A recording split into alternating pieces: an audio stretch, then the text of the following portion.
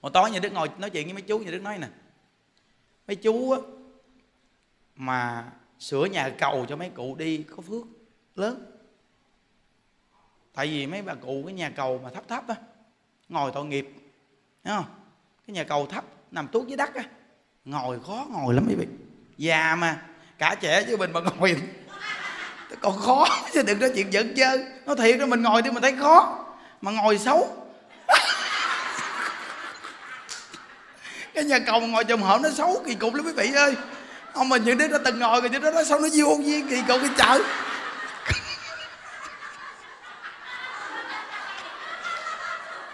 nó quan sát hoàn cảnh nó, nó kỳ cục gì đâu. Ông mà nó ngồi chồng hổm quý vị. Ngồi ngồi nhà cầu thấp ở chồng hổm á. Nó tự nhiên mình thấy hoàn cảnh sao nó kỳ cục quá.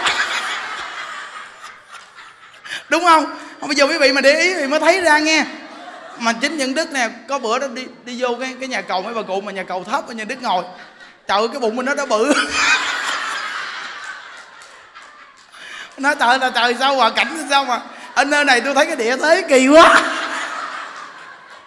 À mình nói vậy là không được rồi. Cái nhà cầu này mấy cụ mà ngồi hay là gì là thấy nó kỳ. Ngồi là tự nhiên mình quan sát, nhìn tới nhìn lui, cũng nhìn ngay trung tâm thành phố à. Kỳ cục cái ghê. Xong rồi những đức mới động viên. Động viên mấy chú làm nhà cầu cao đi. Mấy chú bây giờ đục ra, chịu khó đục ra. Từ ban đầu mà làm thì nó dễ. Nhưng mà khi vậy rồi mà đục ra mà để cái nhà cầu cao vô khó lắm mấy vị. Nên nhiều tối nhà đức nói là bây giờ mấy chú làm cái nhà cầu cao công đức vô lượng. Mấy ông nói, ủa, làm nhà cầu mà cũng công đức lớn dữ vậy hả? Xong lớn. Giờ nhà đức hỏi mấy chú nè khi mấy chú ăn no xong mà mấy chú mắc á là mấy chú đi ra được mấy chú thấy giải thoát không? À đúng giải thoát. Giải thoát quý vị. Đúng không quý vị? À, mà tự nhiên mình mở cửa nhà vệ sinh ra mình nhảy vô là mình ngồi. Hai cái chân mình chịu mà mong mình ngồi lên mình thấy sướng ghê. Thấy nó sung sướng ghê đúng không? Đó thấy chưa? Thì mấy ông nói à rõ ràng thầy nói mới hiểu thì ra là ngồi lên đó thấy vừa đi mà vừa hút gió niệm phật được. Ngon lành. Còn cái lúc ở nhà cầu thấp là đâu có hút gió nổi. Thấy chưa? Mình thấy không? Đúng là phật pháp nó gần gũi ghê quý vị. Nhìn ra đi. Nên về mà nhà mình mà cái nhà cầu mà thấp quá thôi. Nó nghe thầy nói là thôi mua cái nhà cầu khác. Chịu mấy gắn vô cho nó cao cao ngồi. Vô cái là giải thoát liền à, à nhẹ nhàng lắm. Đó nói vậy thấy chưa bởi vì lo cho chúng á. Phải tỉ mỉ từng chút từng chút từng chút từng chút cho người ta. Nên những đức nói với vị mình người tu hành cái việc á, mà lo cho gia đình nó quan trọng. Lo mới độ được người ta. Hiểu không? Lo mới độ được cho người ta. Hiểu không? Ví dụ như mấy cái món đồ mình tặng người ta nó gần gũi nhất ví dụ như à, lâu lâu mình à, thấy gói cũ mình mua cho anh cái gói ta nằm mà nằm trong lòng thấy vui. Bà xã bà tặng cái gói cái gói đẹp. Nó trong lòng người ta nhìn cái gói người ta nhớ mình liền. Thấy không? Cái gói đó là món quà gần nhất. Mua cái gì mà món quà gần nhất cho người ta hiểu chưa? Rồi đồ đạc của chồng đồ mình coi coi quần đùi rồi mình coi coi lâu lâu mình mua vải quần đùi mình thay quần cho ổng. Trời ơi mình làm vợ mà vậy ta thương mình cỡ nào mấy bà? Hiểu không? Mình ta thương mình cỡ nào? Nó thật sự luôn á con người nên quan tâm cho nhau quý vị ơi. Mà khi quan tâm cho nhau dễ độ nhau lắm nghe. À, mình không quan tâm mình độ không có được đâu. Phải quan tâm. Còn ví dụ như đây là tôi nói mấy ông có vợ á vợ mình mà có gì đâu mà mình không quan tâm được. Ha, mình đi coi trong cái tủ đồ nó có khi nó hà tiện hà tặng. Nó không có chịu mua đồ. Có nhiều bà đàn bà bán hà tiện. Thà lo cho mình nhưng mà bà không chịu mua đồ cho bà. Ha, mình coi coi đồ đạc của nó coi đồ này đồ kia coi làm sao. Có cũ có rách là may lại hay không? Mình thấy mình đi tìm hiểu mình coi. Ha hoặc là vợ mình phơi đồ mình lỡ mình coi có đồ cũ chưa? Mình coi xong cái mình hay mình dẫn đi mua. Trời ơi, mình mà đàn ông vậy thì gia đình mình hạnh phúc biết nhiêu nó. Đó. Tuy cái đó nó không nhiêu tiền, nó không có nhiêu tiền đâu, nhưng mà nó cảm giác như cái cái người ta quan tâm cho mình, cái tỉ mỉ nhất. Không có nhiều tiền mà nó lại thành quả, nghe. Mà gia đình khi mà hạnh phúc rồi nó mới thành đạt. Vì nó hạnh phúc là đi đâu làm cũng tranh thủ về nhà. Nhà mình là từ trường tốt mà, nên đi làm ở đâu cũng tranh thủ chạy về nhà, chạy về nhà còn nếu mà cái nhà mà đi về cái là săn si không á, là nó làm xong nó có tiền nó chạy đi chơi. Tại vì nó nghĩ bây giờ có tiền mà đi về nhà mệt mỏi nặng nề, gặp vợ là phiền phức. Nên thôi mình đi chơi, mình đi lỡ cái quán cà phê, quán nhậu nào mình đi rủ bạn bè nhậu. Nên nó không hạnh phúc là có tiền nhiều nhưng mà nó xài hết trơn à. nên nó không có đậu tiền. Còn hạnh phúc là nó tranh thủ chạy về, nó khoe với vợ, nè, em bữa nay làm được nhiêu tiền nè, đưa bà này. Hạnh phúc thì nó đưa cho mình hết trơn à hoặc là nó giữ gìn để lo cho gia đình. Từ nơi đó mà nhà đức nói một trăm phần trăm, gia đình hạnh phúc thì mới thành đạt. Chứ không phải là thành đạt rồi mới hạnh phúc đâu vậy. Thành đạt rồi coi chừng nó mắc vợ, mắc chồng luôn á. Nên trước nhất phải gầy dựng một gia đình hạnh phúc. Mà muốn một cái gia đình hạnh phúc là phải quan tâm lo cho nhau. Vì những đức thấy rõ ràng ở trong chùa mình, ai cũng vui là do những đức quá quan tâm. Mà tự nhiên không phải quan tâm lần mà nghĩ là quan tâm quan tâm hoài.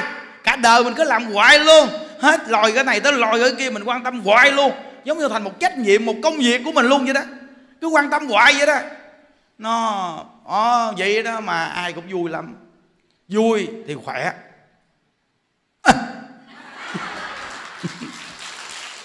Vui thì khỏe hiểu không?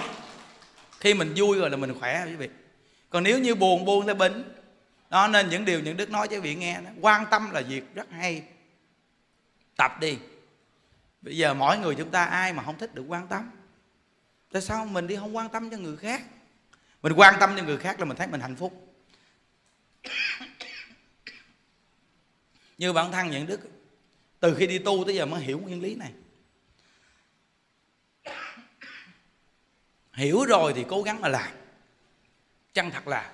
Nên những điều mà quý vị về đây những đức chia sẻ đó, là đem Phật pháp để áp dụng vào cái gia đình của mình chứ không phải là mình đi đây mình học Phật pháp nó chéo chéo bên ngoài không? Không được kết quả gì chứ. Nên tại sao mà bây giờ mấy ông chồng mấy ông cho mấy bà đi tu? Vì mấy ông ở nhà cũng nghe. Ông nghe coi coi sao mà vợ mình nó đi lại đây nó nghe ông thầy này hoài.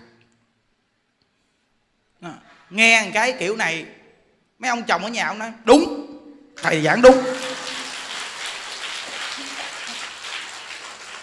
Nên muốn cho mấy bà có cơ hội đi tu là mình phải khéo léo làm sao? Mình giảng mà mấy bà đi được. Mà bây giờ mà mấy mấy, mấy ông đi được mấy bà nghe cũng chịu. Ông thầy này ông dạy chồng đàng hoàng đúng không?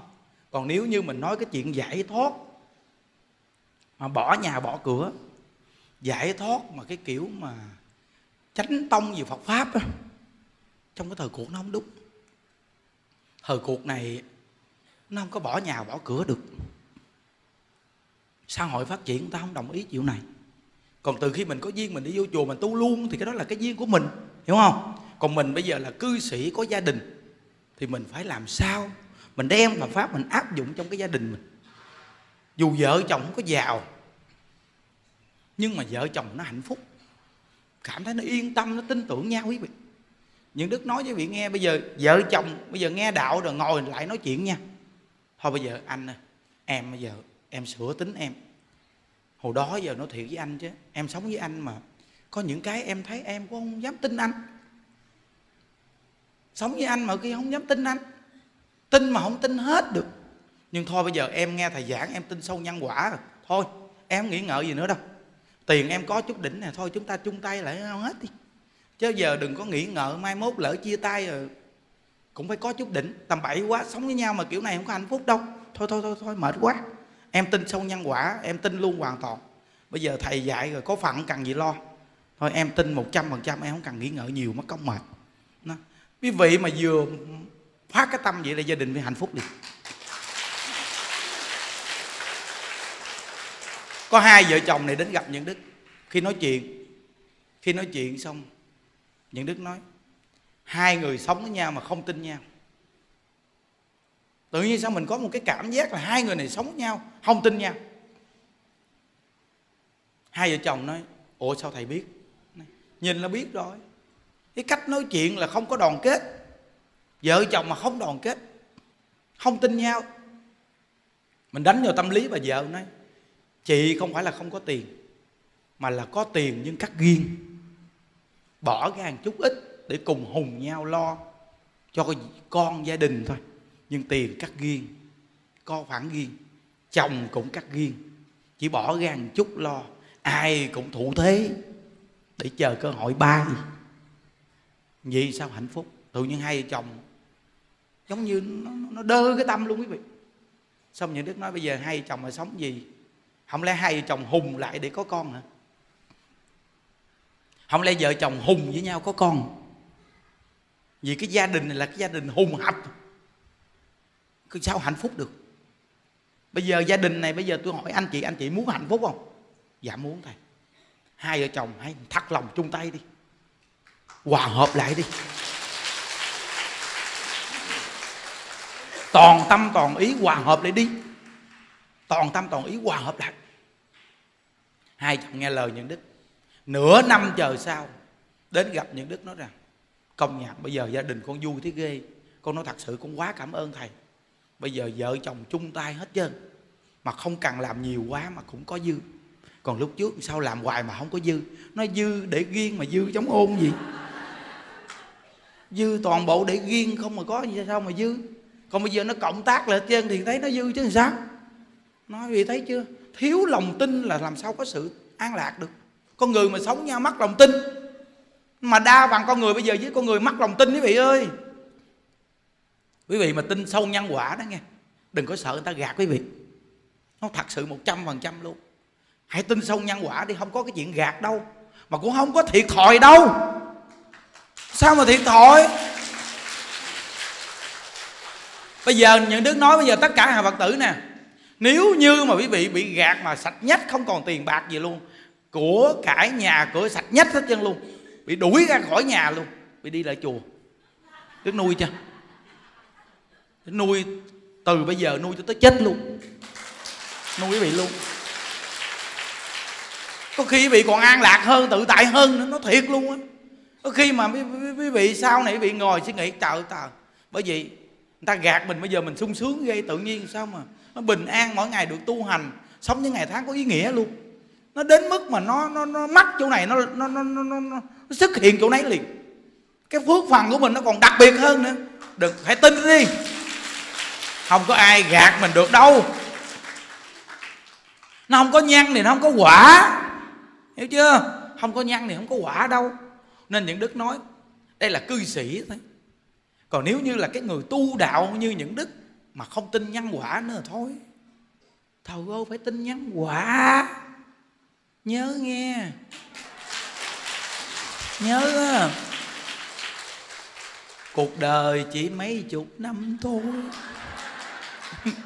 Ngắn ngủi lắm, trời ơi.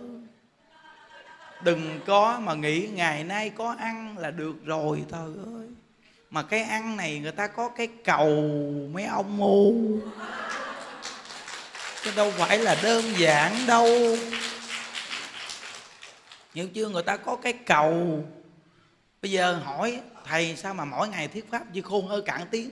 Làm việc dữ gì vì người ta có cái cầu nên tôi phải cố gắng mà lo. Hiểu chưa? Giống như làm việc cho người ta thì phải hết lòng. Người ta đưa cho mình, người ta đều có cái cầu không nào là cầu an cầu siêu, tùm lum. Thì tôi phải hết lòng, hết dạ tôi làm lại cho người ta. Phải dư ra để mình mới có vốn để về cực lạc. Hiểu chưa? Còn quý vị thì quý vị tạo ra, quý vị sống. Quý vị đưa toàn là cầu không mà dù cho cúng dường tam bảo nhưng cũng là cầu chứ. Cầu an, cầu siêu, cầu hết bệnh, cầu tùm lum, tùm la hiểu không? Nó nên những đức thường nói với mấy anh em trong chùa mình, đồng tiền người ta đưa cho mình mình phải cố gắng mỗi ngày mình cũng phải niệm phật, mình tu. Thì bản thân mình mới có. Tôi nói vậy đó mọi người suy nghĩ đi. Tự mình suy nghĩ. Ừ hồi đó kìa, thấy mấy người luôn kìa, quen nhau. Cuối cùng đi tu đó. Chết ông ai hay. Chết ông ai hay.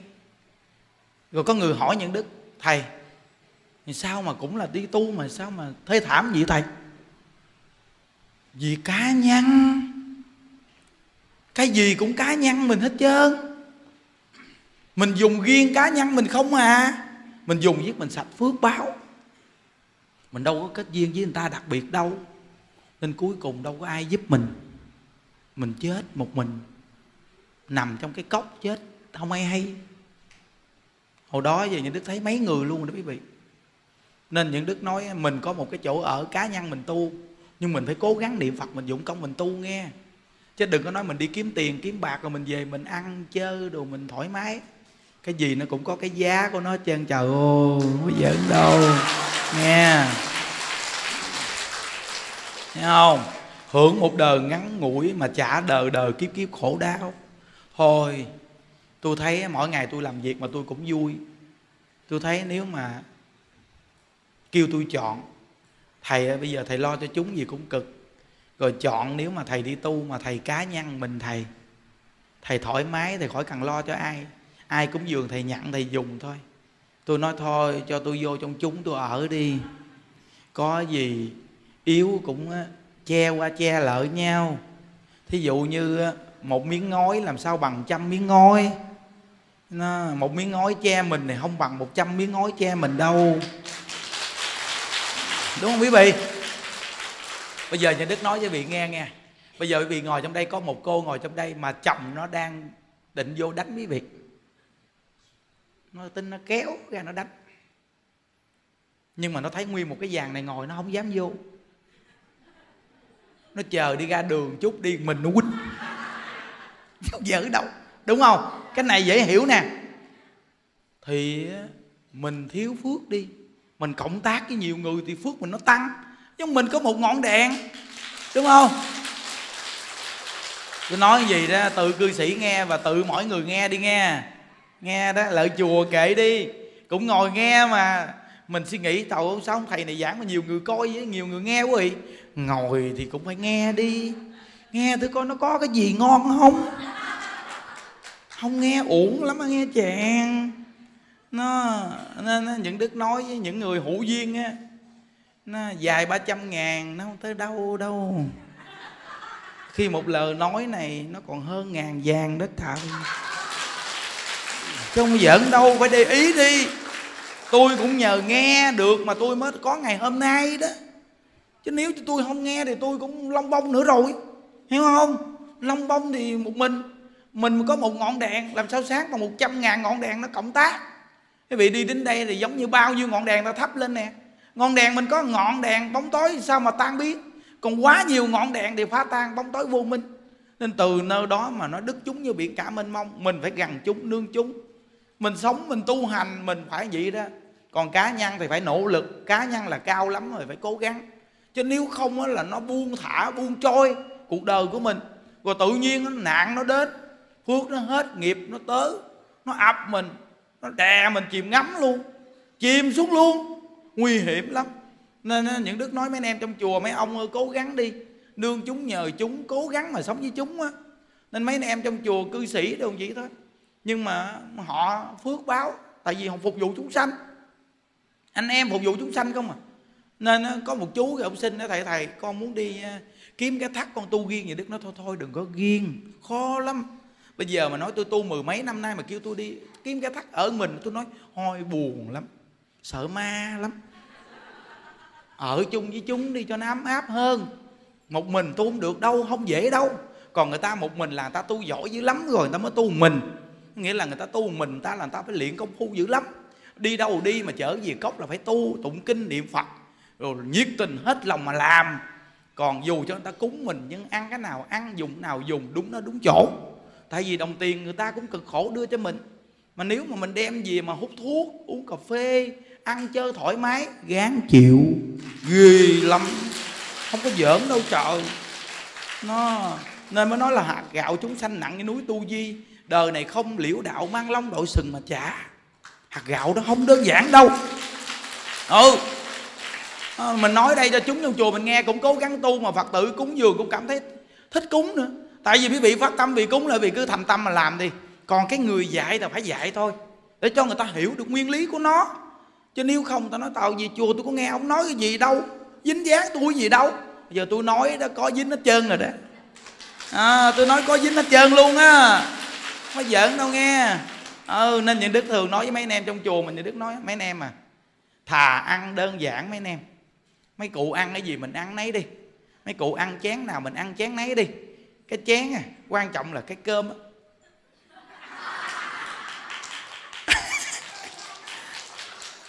Không cái chén thôi quan trọng là cơm á. Nè. nên từ nơi đó đừng có làm cái chuyện lạ quá thấy mình hơi cao siêu. Thôi cơm mới quan trọng còn chén sao cũng được. Thấy không? Quý vị những đức nói thiệt chứ. Bây giờ quý vị lấy muỗng dùa cho những đức ăn cũng được. Miễn mình nấu cơm ngon cho những đức ăn là những đức ăn ngon. Nó dòng gió mà sống có ý nghĩa là ăn ngon quý vị ô à, ờ, gì đâu. À, sống ý nghĩa là ăn ngon à đó, mà tại vì lương tâm nó vui. Mình nghĩ rằng tương lai mình sẽ được phật rước. Tại vì cái hành động mình sống mình biết phật sẽ rước mình. Tại mình nhiệt tình với phật, nhiệt tình với vô pháp. Mình nhiệt tình hết lòng hết dạ với mọi người là tăng.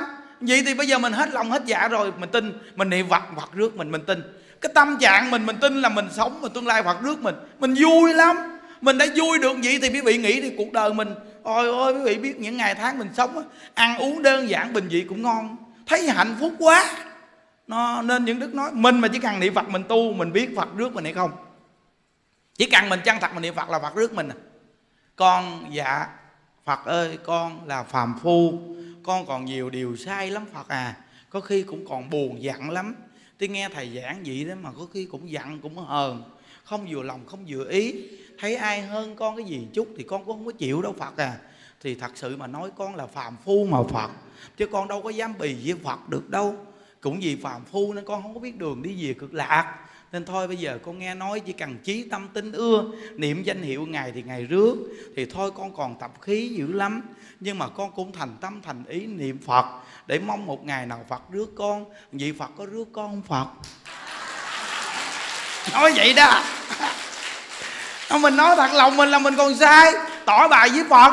Mà tỏ bài gì nó nhẹ lắm nghe đó bài có khi người ta không biết tưởng nó, mình khùng. Cái chuyện mình á, mình tỏ bài. Ờ, hoặc là mình niệm phật, mình cầu sanh cực lạc, nhưng mà mình ngồi trước phật mình nói dạ thưa phật, con không biết tâm sự với ai, vì tâm sự với người ta, sợ người ta nhiều chuyện nhiều điều. Rồi lúc đó là xảy ra nhiều vấn đề. Hoặc là tâm sự với người ta, khi làm ta phiền não nữa phật à. Nên con thấy phật từ bi quá, nói gì nói phật mới trả lời nên con tha hồ con nói. Nên con nói với phật với phật cũng không có, phật không có nhiều chuyện, nhiều điều.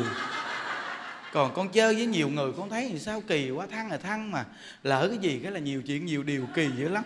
Con thấy chỉ có phật là không có nhiều chuyện. Cứ đứng chơi hoài. Mà chứ không có nói ai gì. Chúng sanh vui buồn gì phật cũng mỉm mỉm cười. Con thấy phật dễ thương quá, nên con tâm sự với phật bây giờ con thỉnh được bộ tự, tượng phật ở ở chùa tặng đem về. Nên lúc con rảnh con lên con tâm sự với phật phật ơi tuy con niệm phật cầu sanh cực lạc nhưng mà sao con còn nhiều cái tâm ghen tuông quá? Chồng con đi sớm về muộn là con tức lắm con sợ. Sợ nó ra ngoài biết nó có quen con nhỏ nào không? Con muốn chia chác tình cảm cho ai đâu phật à. Cái tâm con gì? Không biết con niệm phật phật có rước con không? Biết. Nó nhẹ nhàng lắm quý vị tỏ bài mà mình nói lòng mình thôi. Phật cũng mắc cười ghê, phật có thấy dễ thương ghê. Cái gì cũng nói chân á. Hiểu không? Nó Phật ơi, Phật, con vậy đó, con niệm Phật con muốn sanh cực lạc, phát nguyện mạnh lắm. Nhưng mà mặt chỉ cần nói mụn hay xấu một chút là con cũng không có chịu Phật à. Nên Phật cũng gia hộ cho con. Thôi đã tu rồi, niệm Phật, đã nói là niệm Phật là niệm vô lượng công đức. Niệm Phật là đẹp, nhưng mà con sao thấy con càng niệm nó càng xấu. Nên Phật cũng gia hộ cho con sao mà cho con có được một chút để mà con khuyên mọi người niệm Phật giống con? Sao mà con niệm viết mà sao mặt con nó bằng bù xù bèo nhèo nó xấu kỳ cục quá Phật ơi Phật nó Phật thương con. À, sớm muộn gì con cũng về với Phật rồi thôi Phật cho con một miếng phép phép thực thần thông gì. Để con mặt mày ngủ đêm nay ngày mai cho nó đẹp lại có Phật. Mình nói chuyện vậy đó mà mình mình cởi mở lắm nghe. Không giống như mình quý vị nói ra rồi bị giải thích tuy là nói với Phật nhưng mà vị nói ra cái vị giải thích. Giải thích giải thích giải thích, từ từ nó thoát cái tâm. Khỏi cần nói với ai mất công mệt nói với người ta mất công phiền não. Nó cũng hay lắm quý vị. Rất là hay luôn. Giống như mình đi chùa, mình gặp cái việc đó một cái cái mình mình về mình nói, phật ơi, con đi chùa, cứ nghe thầy, nguyên một nhóm nghe thầy giảng, từng nào cũng nghe. Mà sao còn nhiều cái tập khí mà thầy cứ nhắc cái chuyện mà đừng bù dặn người để trong tâm. Mà sao cái chuyện này sao mà nó khó làm? Chẳng ai gì không biết tuy là nghe nó đơn giản mà sao nó khó thiệt là khó. Phật ơi, bây giờ phật phải gia hộ cho con làm sao mà để con đừng có dặn người để trong tâm, coi phật. Chứ con thấy cái mồi dặn người để trong tâm. Đi tu về tới nhà cái sân si khó chịu, có khi còn nhắn tin trên mạng. Nói này nói kia, chăm chích nhau, đủ chuyện tá lạ âm binh. Con thấy thì sao mà nó kỳ cục gì đâu. Con thấy con đúng là một phàm phu nặng nề quá phật ơi, phật. Thấy chưa? Không? Nó cởi mở liền á phải giỡn đâu? Nói ra với phật. Rồi nhờ cái đức của phật mới che chở cho mình. Rồi cái tâm mà xấu đó của mình nó tự tan biến đi. Vì mình đã cởi mở rồi, mình nói ra rồi. Mình nói ra cho phật nghe rồi. Tại vì đầu tiên mình nói mình là phàm phu chứ mình có nói mình hay ho gì đâu. Phàm phu mà. Nó phải còn nhiều nghiệp chướng chứ, hiểu không? Nhưng mà ngồi nói với người này người kia thì mất mất công phiền phức. Có khi nói rồi nó tới nói lui nói qua nói lại. Nói rồi là nói lỡ cái là khác liền. À, ngộ lắm. À, nên từ nơi đó mà mình mình đừng có nói với ai mình nói với phật á. Ờ, tâm sự với phật đi. Hay nhất còn nếu mà có thời gian tâm sự những đức. Là ngon lành. Có nhiều cô có gặp như đức có nói chuyện chuyện thầm kín đâu này kia các bạn. Xong bà nói xong bà nói nè thầy ơi con mong thầy đừng nói với ai nghe nhưng đức nói chắc chắn một trăm phần trăm. Không bao giờ nói cho một người nào nghe. Bà nói dạ thầy hứa gì con yên tâm, con nói. Bữa sau như đức giảng cho mấy ngàn người nghe đó. Bà nói tạo tạo thầy thầy thầy hứa với con rồi mà. Sao thầy nói tùm lum tùm lá cho thầy? Tôi nói là không nói cho một người nghe. Cuộc này tôi nói cho mấy ngàn người nghe mà. Chứ đâu phải nói cho một người đâu. Này là nói chung. Na mà nói chung để chi cô biết không? Nói chung để mọi người ta gánh bớt cái nghiệp giùm cho cô bớt đi để cho cô khỏe. Con nói tàu cảm ơn thầy bởi vì thấy cũng nhẹ ghê.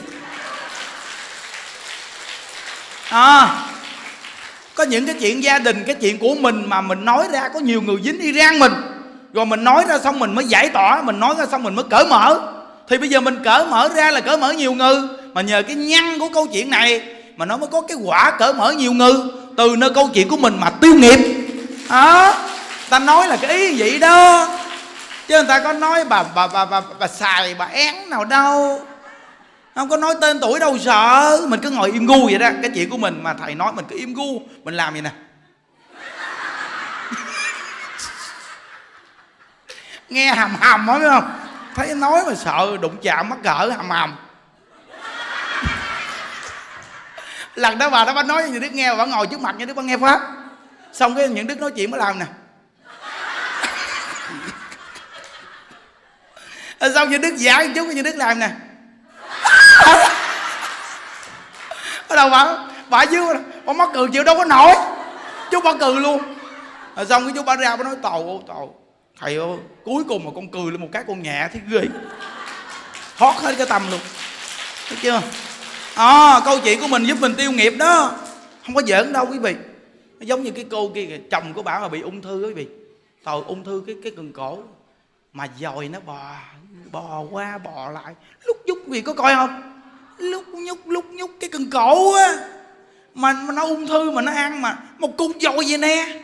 Nó nằm ngay cần cổ á bò tới bò lui bò xuôi bò ngược. Ồ quý vị biết những đức nó thật sự phải ăn cơm xong mới được coi. Còn nếu trước giờ ăn cơm mà coi là cái như là khỏi ăn cơm cũng no. Cái cục cần cổ bê lớn nhưng nó đen thui. Rồi xong nó một cục bê lớn dồi nè nó bò lúc nhúc cho nó chơi trong á. Nó bò tới bò lui nó chơi trong á. Ghê chưa? Mà ổng mỗi ngày nghe pháp như đức luôn niệm phật luôn mà nguyên một cục dồi ngay gần cổ vậy này, còn bên ống này nó truyền xuống đây vậy nè. Nó ngồi nghe pháp cừ bà nói trời ơi đất mười mấy con kìa thầy. Tại vì nó bò lúc nhúc gì nè ông cừ á. Tại vì đức giảng chịu đâu nổi ông cừ ông cừ nó văng văng văng văng dội chứ. Cái cái cái cái cái khăn hứng như nè nó văng văng văng văng xuống. Văng xong túm bỏ đi quy y nó đem ra ngoài. Cái ông nói thôi thôi thôi để vô lại cho nó sốc mà đem ra ngoài nó chết sao? Trời, trời cái tâm ông này kinh khủng với trời. Tại vì ông cười là nó văng văng văng văng văng văng như mưa vậy đó. Rồi xong ở dưới nó chui ra nữa. Không biết sao nó ghê vậy đó. Rồi xong là bà, bà túm là bà đem ra ngoài. Thì ông nói thôi thôi đem đây bỏ vô lại. Chứ nếu không nếu không để ngoài nó chết tội nghiệp. Tại nghe thầy giảng sát sanh là tội nặng. Tôi cũng từng sát sanh cắt cổ chúng sanh bị này bị kia. Bây giờ tôi mới bị cần khổ gì? Bây giờ mà bà còn đem nó đi để mà nó nó, nó thọ mạng chưa hết mà nó chết. Là tôi mang tội sát sanh thôi được rồi. Bà để vô lại giùm tôi đi. Bà bà chờ bà gấp gấp bà nhắm mắt bà để vô để vô lại. Rồi nó chui vô đó nó ở trong đó nữa. Vậy đó mà nó nó nó nó nó, nó, nó đòi nợ ổng ổng mới chết mỗi ngày ông mang cái gì đó mà, ông ngồi nghe pháp thì đứng cười nè. Làm gì đó. Văng văng văng văng văng cái trời ơi xong bà ngồi cái bên lụm bỏ vô bỏ vô làm. Ngay gần cột vì thấy kinh chưa? Trong cuộc đời này đa dạng bệnh. Mình nghe cái vụ này quý vị thấy quý vị đang hạnh phúc không?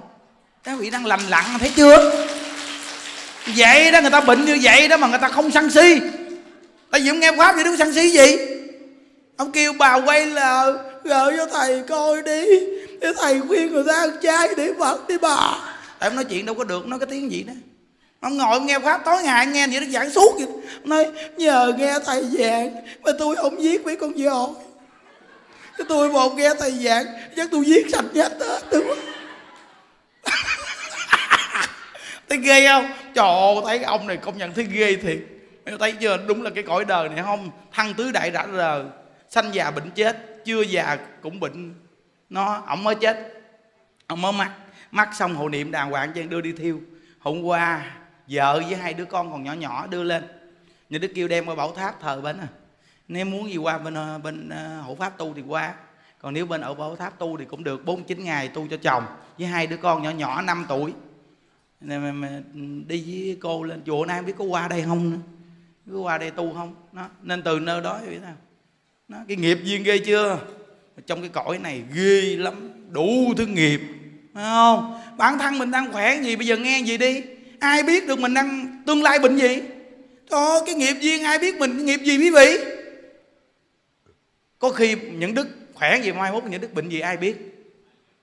Tự nhiên mai mốt tự nhiên nổi lên là thầy, những đức bị sida. Tự tự đó thầy thầy đi tu. Tôi vừa quấy đâu đây mà tự nhiên cho nổi luôn bị sida kỳ còn với thầy?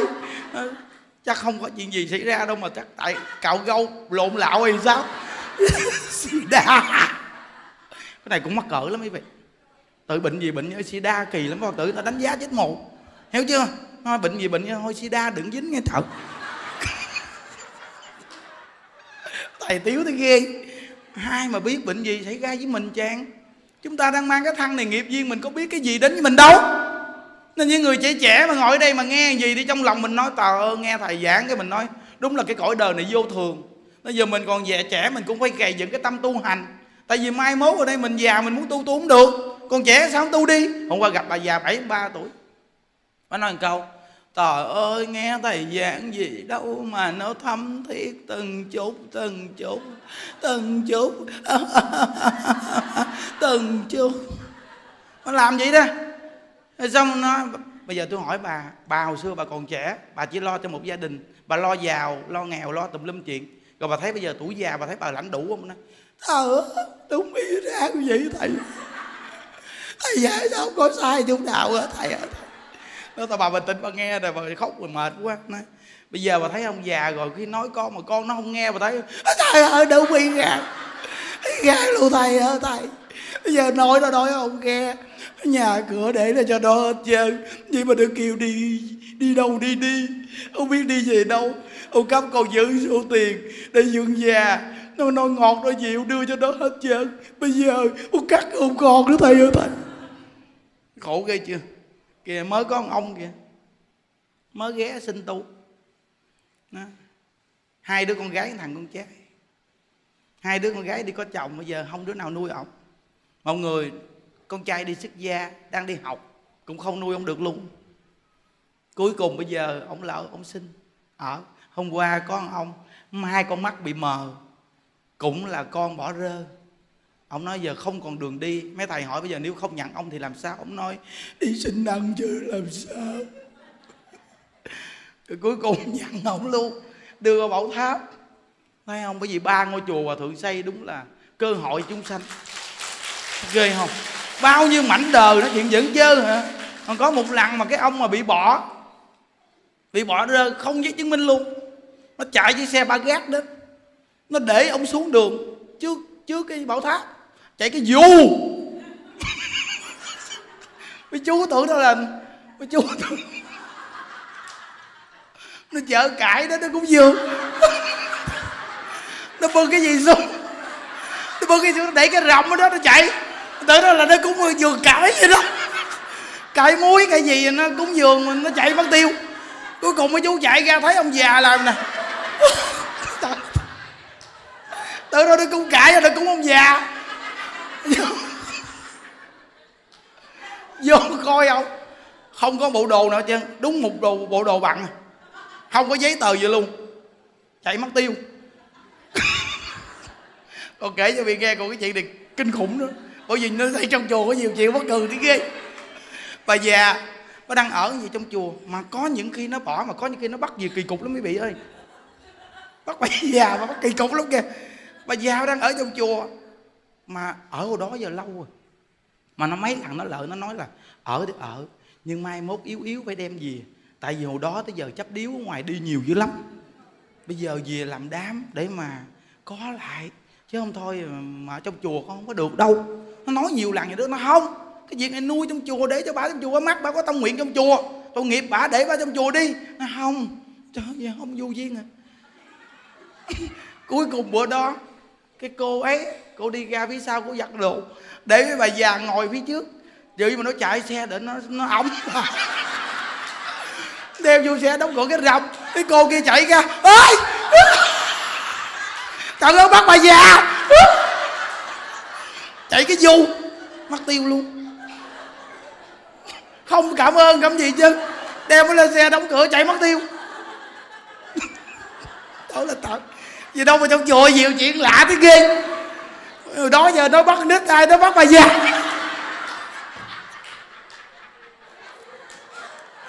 Trời, sao cái chuyện trong chùa cho nhiều chuyện mất cười quá trời mất cười Cho chuyện gì cũng có chứ. Ngộ lắm quý vị ơi. Bởi vì tôi nói trong cái cuộc đời này quý vị ơi Có, có vợ, có chồng, có con Mình cố gắng mình tu đi. Có khi còn nhỏ hói vậy đó mà mình ẩm bồng mình thương yêu nựng nịu vậy đó. Nhưng mà sao nó lớn lên nó khác? Nó có gia đình khác rồi nó khi nó không có nó không có thương mình. Mà không phải ai cũng vậy nó có phận cần gì lo mà mình sợ mình không có phận á. Nó phải lo. Mình không có phận thì mình lo. Lo gì thầy lo tu? Lo gầy dựng niệm phật đó bây giờ bây giờ đi. Lo tu đi chứ đừng có ở nhà nói bận quá không tu được. Cái bà nào mà gặp tôi mà nói bận mà không tu được cái chừng. Ôi là trời gì đâu bạn lo tu, chứ bạn bạn mai mốt ai giúp mình? Nó, già vô nói quá trời đó. Nó hôm qua giờ mấy ông mấy bà đó. Vô đi, mò mò mò mò, nó trời, đi đâu rồi trời? Nó không thấy đường nữa sao ngủ quá? Không thấy đường mới vô đây, sao ngủ? nó thấy chưa? Thấy rảnh gõ gàng quý vị. Nó bây giờ không nhận đi đâu là đi bán đi không? Chi số bán sao có tiền mà bán? Đi xin ăn. Nó thờ mà chịu niệm phật không? Dạ niệm niệm sao? Phật phật. Ta tại, tại mình nói biết niệm phật không? Tại nhà đâu có niệm phật. Mình nói biết niệm phật không? Dạ biết. Niệm sao? Phật phật. Phật rồi tôi thấy cao thủ niệm phật đó ông này cái dạng là nhất môn thâm nhập luôn. Mình thì còn a di đà phật, còn a di đà, còn ông chơi cái chữ phật một luôn. Mình hỏi ông biết niệm phật, ông nói biết. Niệm sao? Phật phật phật. Trời quá dữ dằn, tôi thấy cao thủ thiệt rồi. Thôi, được rồi. A di đà phật, ông nói a di đà phật. Cũng khôn ghê. Ý nói là biết niệm phật mới nhận hỏi biết niệm phật không? Biết. Niệm sao? Phật phật phật cũng là cao thủ cũng khôn ghê. À, thấy chưa? Nên từ nơi đó mà vậy đó mà cái ông mà bị con bỏ bữa nay nuôi mập lù. Nuôi mập luôn khỏe khoắn ngon lành. Nay đẹp trai lắm. Ngoài bảo tháp á thì hỏi con cái ông. Đẹp lắm nay đẹp trai lắm. Ngon lành luôn. Mấy chú nuôi mến tay mến chân mà. Nuôi cũng lo lắng nhắc chỗ này chắc ta đem bỏ nhiều lắm. Không mà chơi vậy quả báo lớn lắm quý vị chơi vậy sai lắm, quả báo lớn dữ lắm. Tại vì đối với ông bà cha mẹ mình, đối với người thân mình mà mình đối xử gì, thì bản thân mình tương lai cũng Iran giống hệt là cái câu chuyện mà những đứa kể với bị nghe đó. Cái bà vợ mà nghe, mà nói với chồng kêu giờ cha mẹ già rồi thôi, đóng cái xe đưa cha mẹ lên rừng. Cái chuyện này ngày xưa rồi cuối cùng cái đứa con trai nó hỏi, cha, đóng xe chi cha? Xong cái ông cha nói ông nội bà nội mày già quá, trong nhà chặt chội nóng. Nên ba đóng cái xe để đẩy ông nội với bà nội mày lên rừng. Cho mát. Bỏ trên cho mát. Xong đứa con nói à cha, đẩy xong rồi đem xe gì cho con? Chi mày? Xe để cho luôn, đẩy gì xe làm gì? Ba đem xe gì cho con đi mà. Để mai mốt cha mẹ già con đẩy cha mẹ lên rừng. Nó ghê chưa? Cái nhân quả thì kinh cho quý vị tứ liền nó, nên mình đối xử với cha mẹ mình sao á?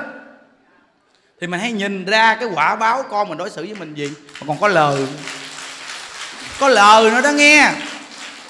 Đó, nên dù cho cha mẹ mình còn ăn mặn, quýnh bài, quýnh số đề chơi nhậu bia, nhưng bổn phận làm con lo là phải lo thôi.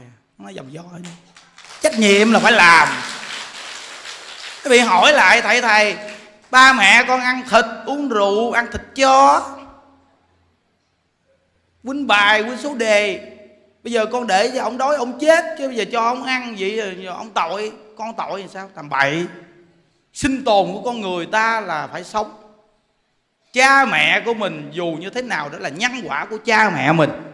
Còn bổn phận làm con phải làm tròn trách nhiệm của bổn phận làm con. Đối với cha mẹ, đó là đúng không có sai. Cái duyên đó mình kết rồi, mình về cực lạc mình trở lại mình độ cha mẹ mình sao? Đừng có gấp. Đừng có gấp gáp ta không có chịu mà gấp là làm sao được? Họ chưa có chịu tu mà mình ép họ đi tu, họ họ chữ vào pháp. Đoạn duyên sau này còn hơn. Thà mình lo tu cho tốt đi. Quý vị muốn độ người thân quý vị, chỉ cần quý vị tu cho an lạc. Tự mới tu sao mà vui vẻ an lạc. Hồi xưa cho cha mẹ tiền, cho keo lắm. Mỗi lần cho có hai ngàn bây giờ mỗi lần mình cho rút rẹt hai trăm hai trăm ngàn. Không? Đi tu giết. Tự nhiên cha mẹ mình nói, công nhận, từ khi mà nó đi chùa tới giờ, không biết ông thầy nó giảng làm sao mà con nhỏ nó rộng rãi.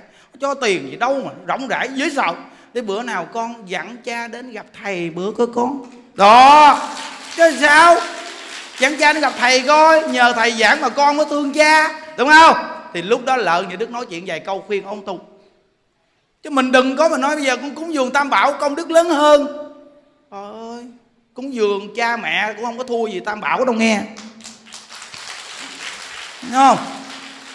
Rồi cha mẹ già rồi mình mua bộ đồ đẹp đẹp cho cha mẹ bạn. Mua đồ cho cha mẹ bạn đi. Có gì đâu, mình bổn phận mình làm con mà. Về mua bộ đồ nè, ba ba mẹ mẹ con mua bộ đồ này đẹp lắm bận cho ba mẹ nghe.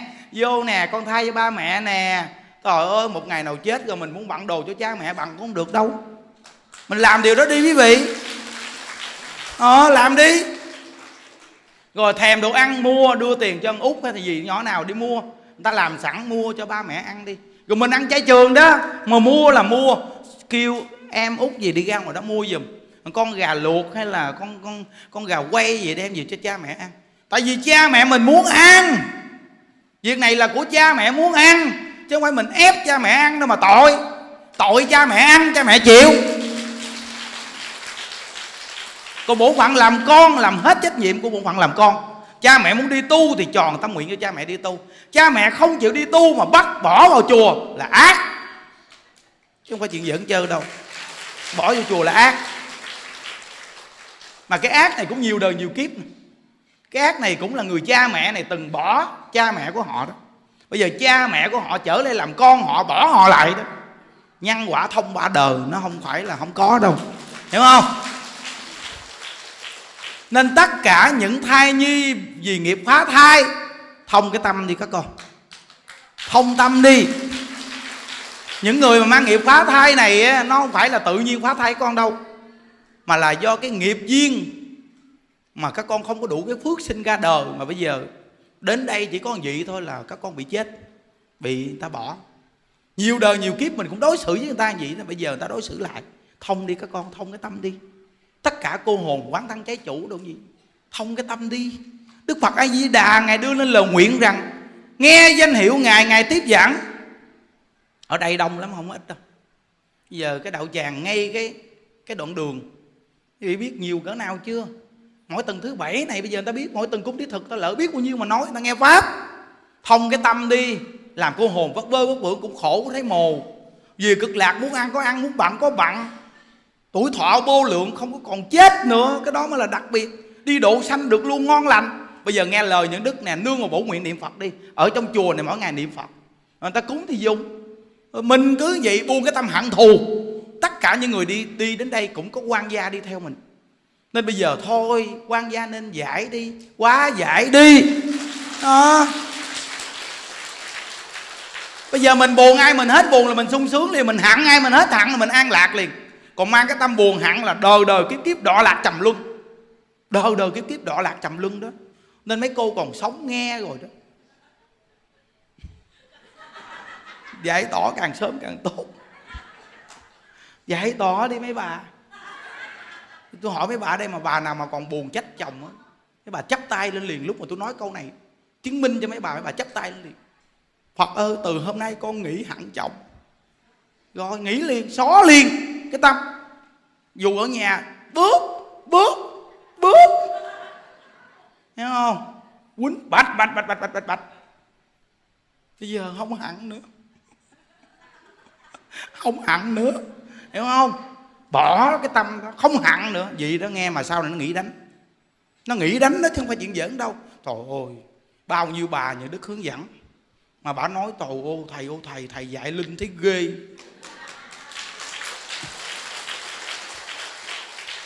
Hồi xưa chữ nó hoài, nó quýnh hoài luôn. Mà từ khi thầy dạy chỉ có một tháng thôi nó nghỉ đánh. Không có giận nó nữa, không có trách nữa, không có hận nữa, không có đổi sắc diện luôn, chuyển liền ghê thiệt chứ. Công nhận thiệt. Cái nghiệp thì ra nó chuyển như lặt bàn tay quý vị ơi. Như lặt bàn tay vậy đó. Còn mình không chịu chuyển là nó đi. Chuyển là là hết à. Đó, nên cái tâm buồn hận giận trách là từ con người sống cho đến con người chết phải quá giải. Quá giải cái tâm. À. quý vị mà nghe gì đi, rồi quý vị thấy cái thân thể vì nó cũng nhẹ nữa. Những cái người mà bám víu quý vị, những người mang nghiệp phá thai mà bám víu buông ra liền. Buông ra không buông là nó khổ te tua những người mà mình bám víu trong thân người ta buông ra. Nó cho nó nhẹ. Rồi ô quý vị biết cái nghiệp thì ghê lắm. Cái ông nó mang bú bự vậy nè. Bự vậy nè. Hồi xưa biết làm nghề nghề đi biển. Giết cá biết nhiều sao nổi bú bự vậy nè. Những đức lại gờ một bú nha. Gờ gờ gờ vậy nè. Đây nè, chúng sanh trong đây đầy nè, phải không? Vừa nói xong, ngồi bú làm nè giật giật giật giật giật giật giật lên, tao tao nó thấy chưa? Vừa gờ hỏi chúng sanh trong đây phải không? Bú giật giật giật giật lên. Nó ghê không? Mà mỗi lần mà ông giải đãi, là ông đau ghê lắm. Đau nhất kinh khủng lắm. Mà mỗi lần ông siêng năng niệm phật, hết. Thấy chưa? Những đức nói với vị nghe. Bị tu mà lâu lâu mới bị mà giải đãi là có chừng bị bệnh đó. Te tua đó làm bị nhức đầu, nhức cổ mệt, mỏi, căng thẳng thần kinh, đau bụng nhưng mà khi quý vị mà tinh tấn là hết tại vì nghiệp quan gia người ta buông ra vì người ta cũng muốn mình thành tựu để giúp người ta mà. Giải đãi là ta bụp quý vị đó. Giỡn đâu. Ờ, dũng mạnh tinh tấn lên mấy bà. Siêng năng niệm phật lên. Mấy nhỏ nít trong đây đồ này con mấy đứa nhỏ nhỏ này mà các con mà niệm phật nghe phước con lớn lắm. Phước lớn dữ lắm. Mấy nhỏ gái nhỏ nhỏ mà niệm phật là sao này nghe?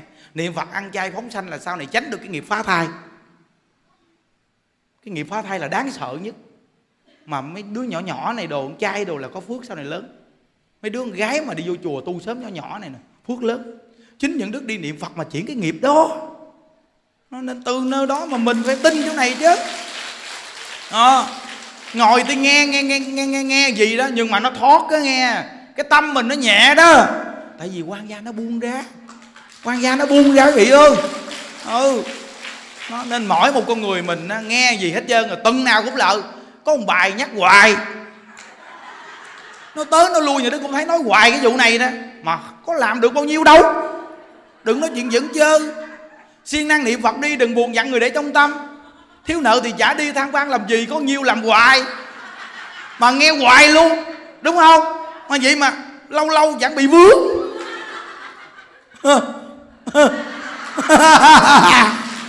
ồ ghê không?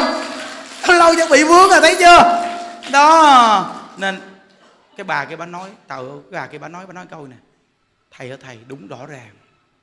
Năm năm đi đến nghe thầy giảng, khi xa chồng, năm năm chờ, không có chồng. Không đến chùa nghe thầy giảng có nửa năm thôi, có chồng.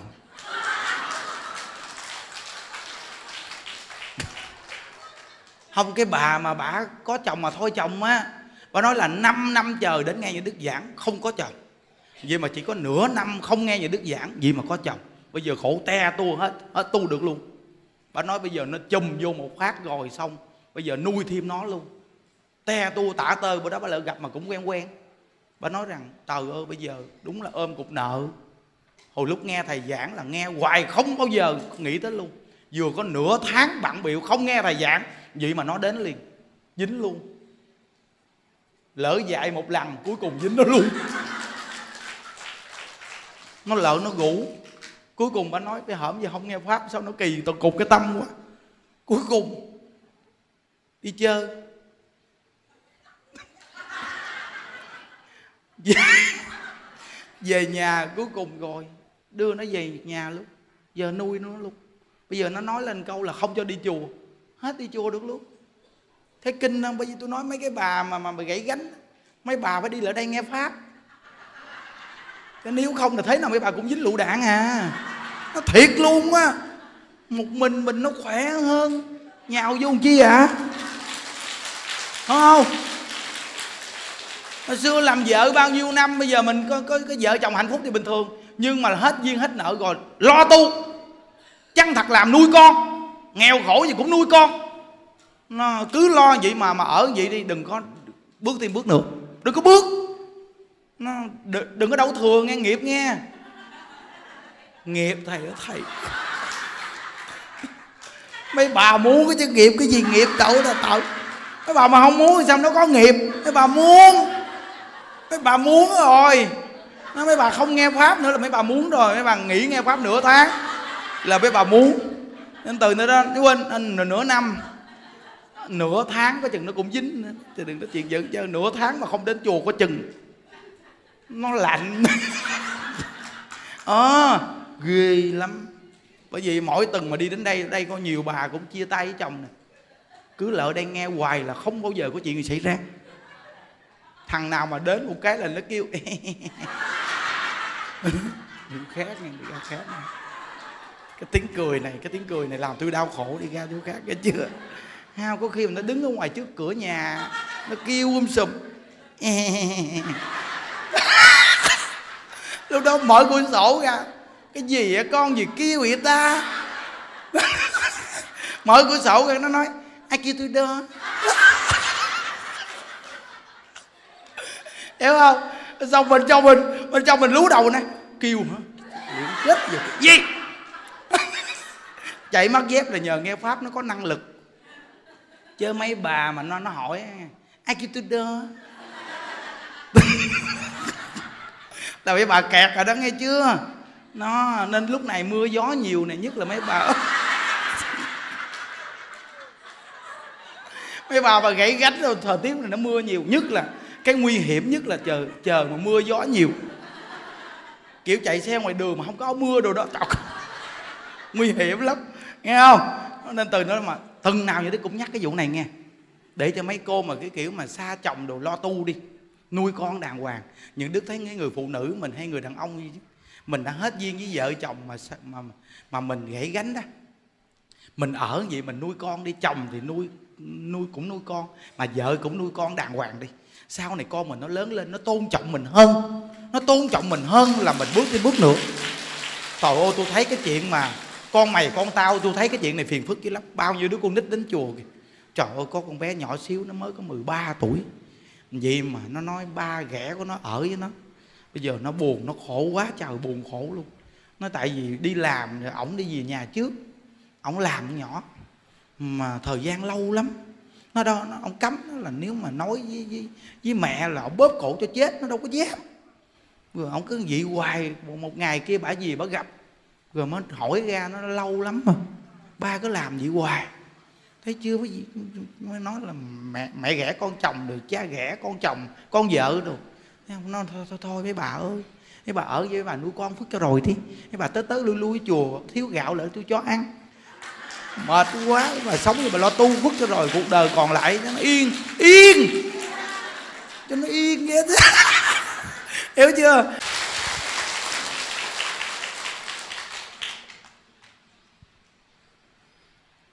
À, trước nhất chúng ta nói về cái việc chúng ta à, học tập Phật pháp.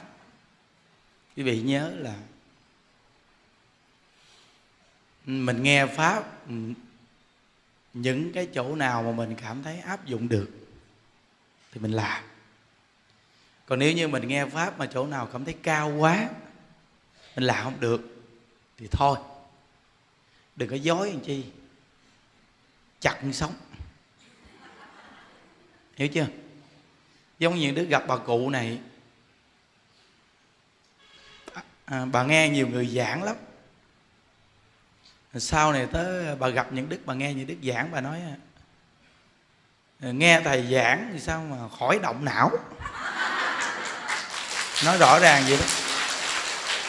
Nghe thầy giảng khỏi động não còn ờ, con nghe một số người giảng, con động não quá trời. Rồi con phải niệm phật sao mà sạch vọng tưởng mới giảng sanh. Rồi vui buồn gì cũng không được, chỉ có niệm phật thôi. Còn nếu bà chấp vui thì bà cũng không được giảng sanh luôn. Nên con thấy ờ, mỗi ngày con buồn, con mong vui thôi. Mà vui con không cho chấp.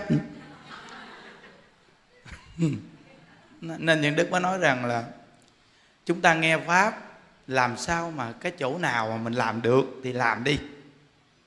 Tại vì mình làm được chút mình sẽ có sự tự tin thêm.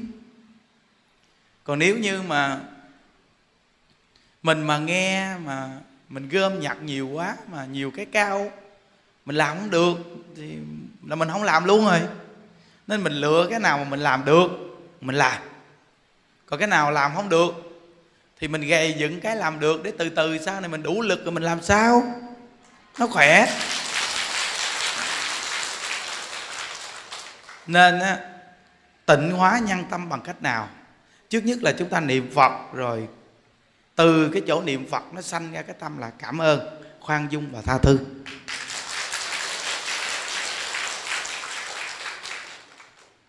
Mà câu này những đức đọc cái cái quyển sách của nhà khoa học ông Giang Bổn Thắng người Nhật, ông cũng nói Iran luôn.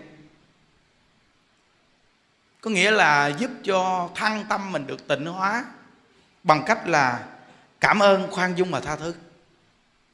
Mà quý vị mà nếu bắt tay vào ba điểm này quý vị thấy quý vị an lạc ghê lắm à. vì cảm ơn nó không đơn giản đâu quý vị. Những đức nói quý vị mà gặp Phật pháp mà quý vị không vui, quý vị không cảm ơn đâu à, khi con người mình vui nó mới cảm ơn. Mình vui là do mình có thành quả. Thí dụ như ai giúp quý vị cái gì mà thí dụ mình nghèo đi mà ta giúp mình giàu mình cảm ơn dữ lắm. Tại vì giúp mình được giàu thì cảm ơn liền gì đâu đúng không? Mà mình buồn mà ta giúp mình vui thì mình cảm ơn chứ sao giờ? Rồi mình rắc rối nội tâm mà ta giúp mình cởi mở thì mình cảm ơn chứ thì sao? Còn nếu như bây giờ nghe pháp tu mỗi ngày mà buồn, không có cảm ơn đâu. Gặp thì cũng cảm ơn cảm ơn vậy thôi chứ xạo, không có cảm ơn. Vui nó mới cảm ơn, tặng đáy lòng là do mình có thành quả mình mới cảm ơn. Chứ mình không có kết quả gì mình không có cảm ơn. Hồi xưa trên kia 5 năm chờ, những đức không có cảm ơn được từ tâm đâu. Dù có đọc bao nhiêu văn tự, dù có học đệ tử quy hay là làm cái giống gì, không có cảm ơn. Vì sao? Cực quá trời cực rồi tôi làm cực chết. Mà tôi còn không được an lạc nữa không tự tại nên mà kêu tôi cảm ơn. Không có cửa đó đâu. Làm gì cảm ơn hiểu không? Nhưng mà tới, tới khi mình an lạc mình vui á mình tự tại nên cái cái tâm cảm ơn nó phải sanh ra có khi 10 năm 20 năm sau. Chứ không phải chuyện giỡn đâu nghe. Tại vì cái cái cái con đường tu mình á cái thành quả mà nó chắc chắn nhất của mình là phải có thời gian khi cái thành quả đó có thời gian rồi thì mình mới sanh tâm cảm ơn mà mình nhớ lại hết.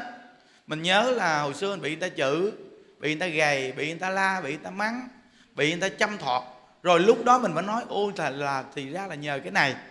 Nhờ cái này mà mới rèn mình có cái tâm ngày hôm nay. Rồi mình có được cái thành quả vui này rồi lúc đó mình mới thật sự cảm ơn.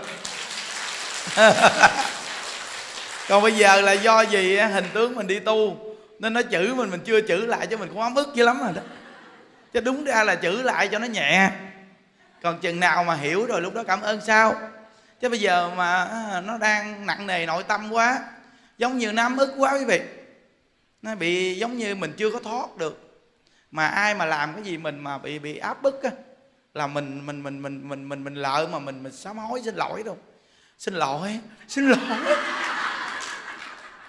cái xin lỗi này nó ác tâm lắm quý vị. Xin lỗi nó rất là ác tâm. Nó chỉ là hiện tướng bên ngoài, thật sự nó phải xin lỗi. Hồi đó những đức đi vô chùa tu ở trên ở trên đà lạt, những đức thấy có chú này, ổng nấu bếp. Mà tính tình ổng dễ săn si lắm. Ví dụ như ai mà làm cái gì, ổng không vừa lòng, không vừa ý là ổng quỳ xuống. Ổng quỳ xuống xong nói nè, tôi xin lỗi ông nội, tôi xin lỗi ông, xin lỗi. Làm vậy đó hồi đó mình mới vô chùa thôi mà mình nhìn mình nói là cái này không phải rồi nếu mà ai mà xin lỗi tôi kiểu này nó thật sự, thà đừng nói gì. Thà đừng nói câu đó, chứ xin lỗi cái này tôi thấy rất nặng nề luôn. Xin lỗi chứ đâu mà thấy ghê còn hơn là cầm dao mà chém mình à. xin lỗi xin lỗi. Tôi không dám đụng ông nữa. Làm gì đó trời? Nó không phải rồi tu này không đúng đâu. Dù mình mới vô chùa mình nhìn, mình nói không đúng rồi cái này là chắc chắn là không đúng. À này chưa phải phát tâm. Mình biết điều đó thấy không? Nó chưa thoáng cái tâm nó chưa có thoát được. Mà mình dùng cái câu xin lỗi là hạ mình mà nó không thoát đó, thì cái sự hạ đó là nó nó nó nó gây dựng cho mình thêm cái cái lòng sân hận thêm. Cái lòng sân hận đó, nó mồi thêm nó quý vị chứ không giỡn đâu. Đó. Nên có những cái khi mình là người tu khi nó bực bội thiệt là bực bội có khi mình không dám bụp người ta liền. Nhưng mà mình cũng kiếm cái chỗ mình chút ra mình bụp họ mà bụp lại mình sao? Nên mình kiếm người nào mà hơi cao thủ hơn mình chút. Như những đức đồ quý vị gặp. À, kiếm những đức tìm. Cố gắng đi. Rồi đứng đợi hay là ngồi đợi gì đó nhất định cũng gặp mà. Đi gặp quý vị gặp những đức quý vị chữ. Con đó thằng đó vậy nó đối xử với con vậy đó. Chữ cho những đức nghe tại những đức thì cái lỗ tai này nó cũng tương đối là cũng tương đối có công phu. Tại vì nghe chữ mắng với quen với vị vì gặp những đức thì chữ. Chữ người khác á. Chữ cho những đức nghe là những đức có thể ngồi, có khả năng ngồi được khoảng nửa tiếng. Thì chữ thoải mái trong vòng nửa tiếng đồng hồ. Những đức nghe xong, rồi quý vị nhẹ nhàng liền. Điều đó cũng tốt quý vị tại vì nó chưa có thoát được cái tâm sao mà cảm ơn? Này là nói thật là từ tâm phàm phu đó quý vị. Ừ, tâm phàm phu chứ mình đừng có miễn cưỡng quá. Không miễn cưỡng quá khi nó bức nó bức nặng lắm nghe. Đừng nên miễn cưỡng quá nghe chưa? Nhưng mà mình phải nhận thức. Nên á nhà khoa học đã thí nghiệm rõ ràng rồi. Tịnh hóa nhân tâm mà những đức thêm câu là phải niệm phật. Niệm phật là đạt nhất là tịnh hóa. Nhưng mà từ cái niệm phật nó sanh ra cái tâm cảm ơn khoan dung và tha thứ. Vị nhớ nè nó tịnh hóa nhân tâm quý vị mà nó tịnh hóa luôn nhân sinh. Nó tịnh hóa luôn cảnh giới luôn. Và kiếp nạn nhân sinh bị được quá giải luôn là do cái tâm đó. À, nhưng đức nói rằng con người mà, mà thật sự mà mang tâm cảm ơn thì không có chiến tranh đâu quý vị. Không bao giờ có chiến tranh đâu. Chúng ta bây giờ học phật mà mình thấy đúng là chiến tranh là nghiệp quả. Bây giờ mỗi một đất nước đang sống bình yên vậy mọi người ai cũng lo làm ăn bình yên mừng quá. Tự nhiên cái à, lãnh thổ này đi giật lãnh thổ kia để mở rộng cái lãnh thổ của mình. Rồi tự nhiên mình đi giết nhau rồi bên nào cũng bị thiệt thòi mà quý vị coi từ xưa tới nay mà đi chiếm quốc gia người ta chưa có thấy chiếm đúng đất nước nào chiếm được. Tại vì anh làm điều này là anh đi ngược cái hoàn cảnh tự nhiên à anh làm điều này cái đất nước anh anh là người tạo tội nghiệp lớn. Anh đâu có lấy được đất nước ta đâu. Mình thấy rõ ràng như nước mình cũng đâu có lớn đâu quý vị. Nhưng mà có những cái quốc gia mạnh, cường quốc mà họ muốn chinh phục mình mà có được đâu. Tại vì anh làm điều đó là tâm anh không đúng. Tại ai cũng có tổ tiên ông bà. Mà anh bây giờ anh muốn chiếm đoạt, anh muốn ừ, thu phục người ta. Mà anh dùng cái tâm ác ý anh đến với người ta mà anh giật giành sao được? Hiểu không? Nên từ nơi đó mà khi con người mang tâm cảm ơn nó không có những chuyện gì xảy ra. Nhưng con người vì danh vì lợi mà tranh giành hơn thua đấu đá rồi không có biết đủ. Rồi từ nơi đó mà sanh ra tạo cái nghiệp chướng khổ đau. Mình mà được sống những ngày tháng bình yên gì mừng biết nhiêu nói cái tâm mà mà mà, mà cảm ơn á rồi cái tâm khoan dung là tha thứ nhau. Mình vừa tha thứ cho người ta là thật sự mà nói mình an lạc liền. Vừa tha thứ là mình an lạc liền à bây giờ mấy, mấy cô mấy, mấy mấy chú thử đi.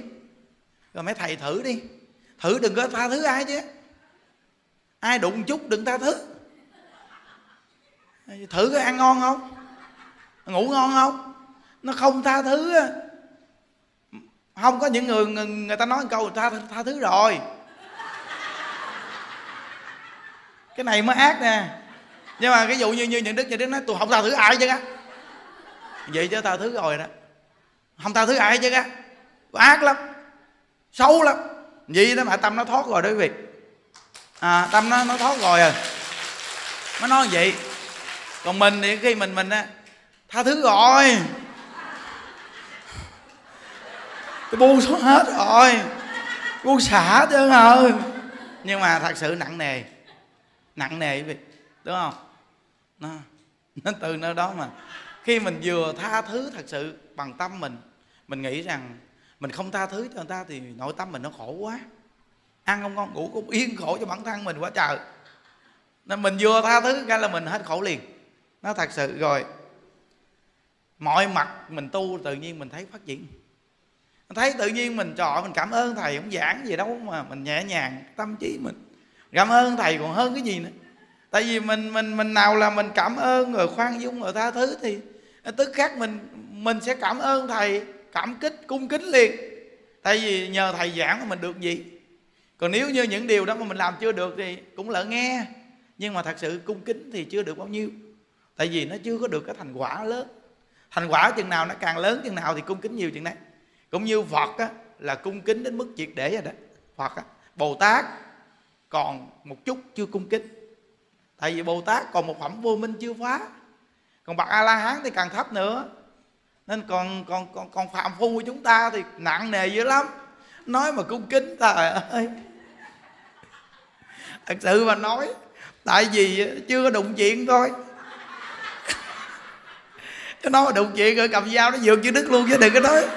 À, thử đi khó lắm quý vị ơi. Nó thật sự mà nói nhà đức ngồi suy nghĩ kỹ khó lắm. Ừ. khó cái chuyện mà thật sự mang tâm cung kính đồ thật lòng từ tâm mình nói nhìn chúng sanh là phật nó khó lắm trời trời.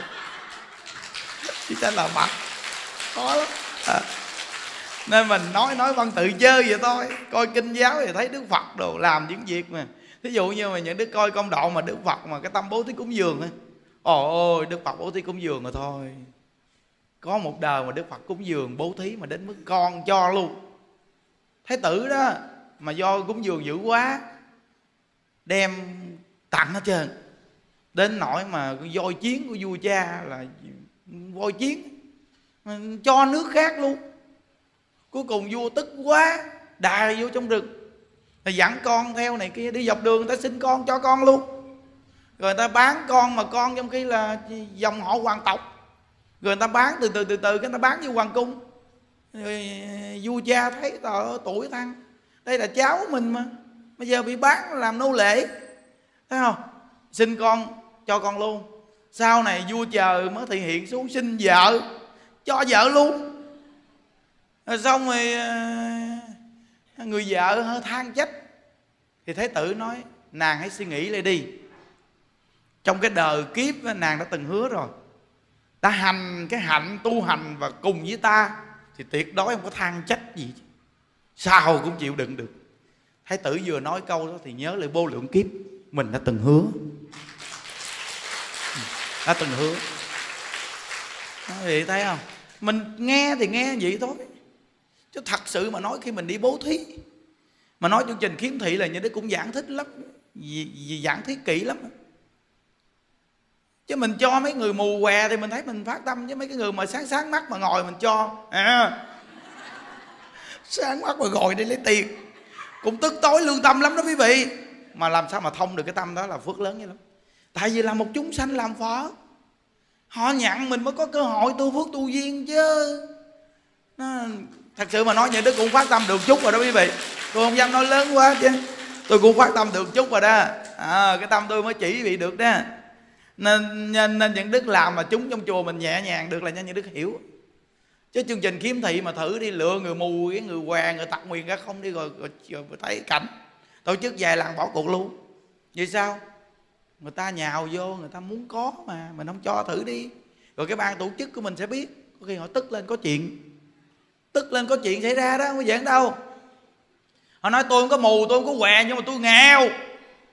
Tôi không có ăn. Nó mù nó muốn sống với tôi cũng muốn sống vậy. Sao cho tôi? Thấy chưa có chuyện. Thấy chưa cái chuyện hành bố thí đâu có đơn giản. Nó đừng nói chứ bố thí ba la mật. Ờ, mình có cái mặt chứ ba la đâu có. Ba la là không thấy mặt. Gọi là ba la mặt là nghĩa là mình không thấy cái cái cái gọi là mình cúng gì hết trơn á.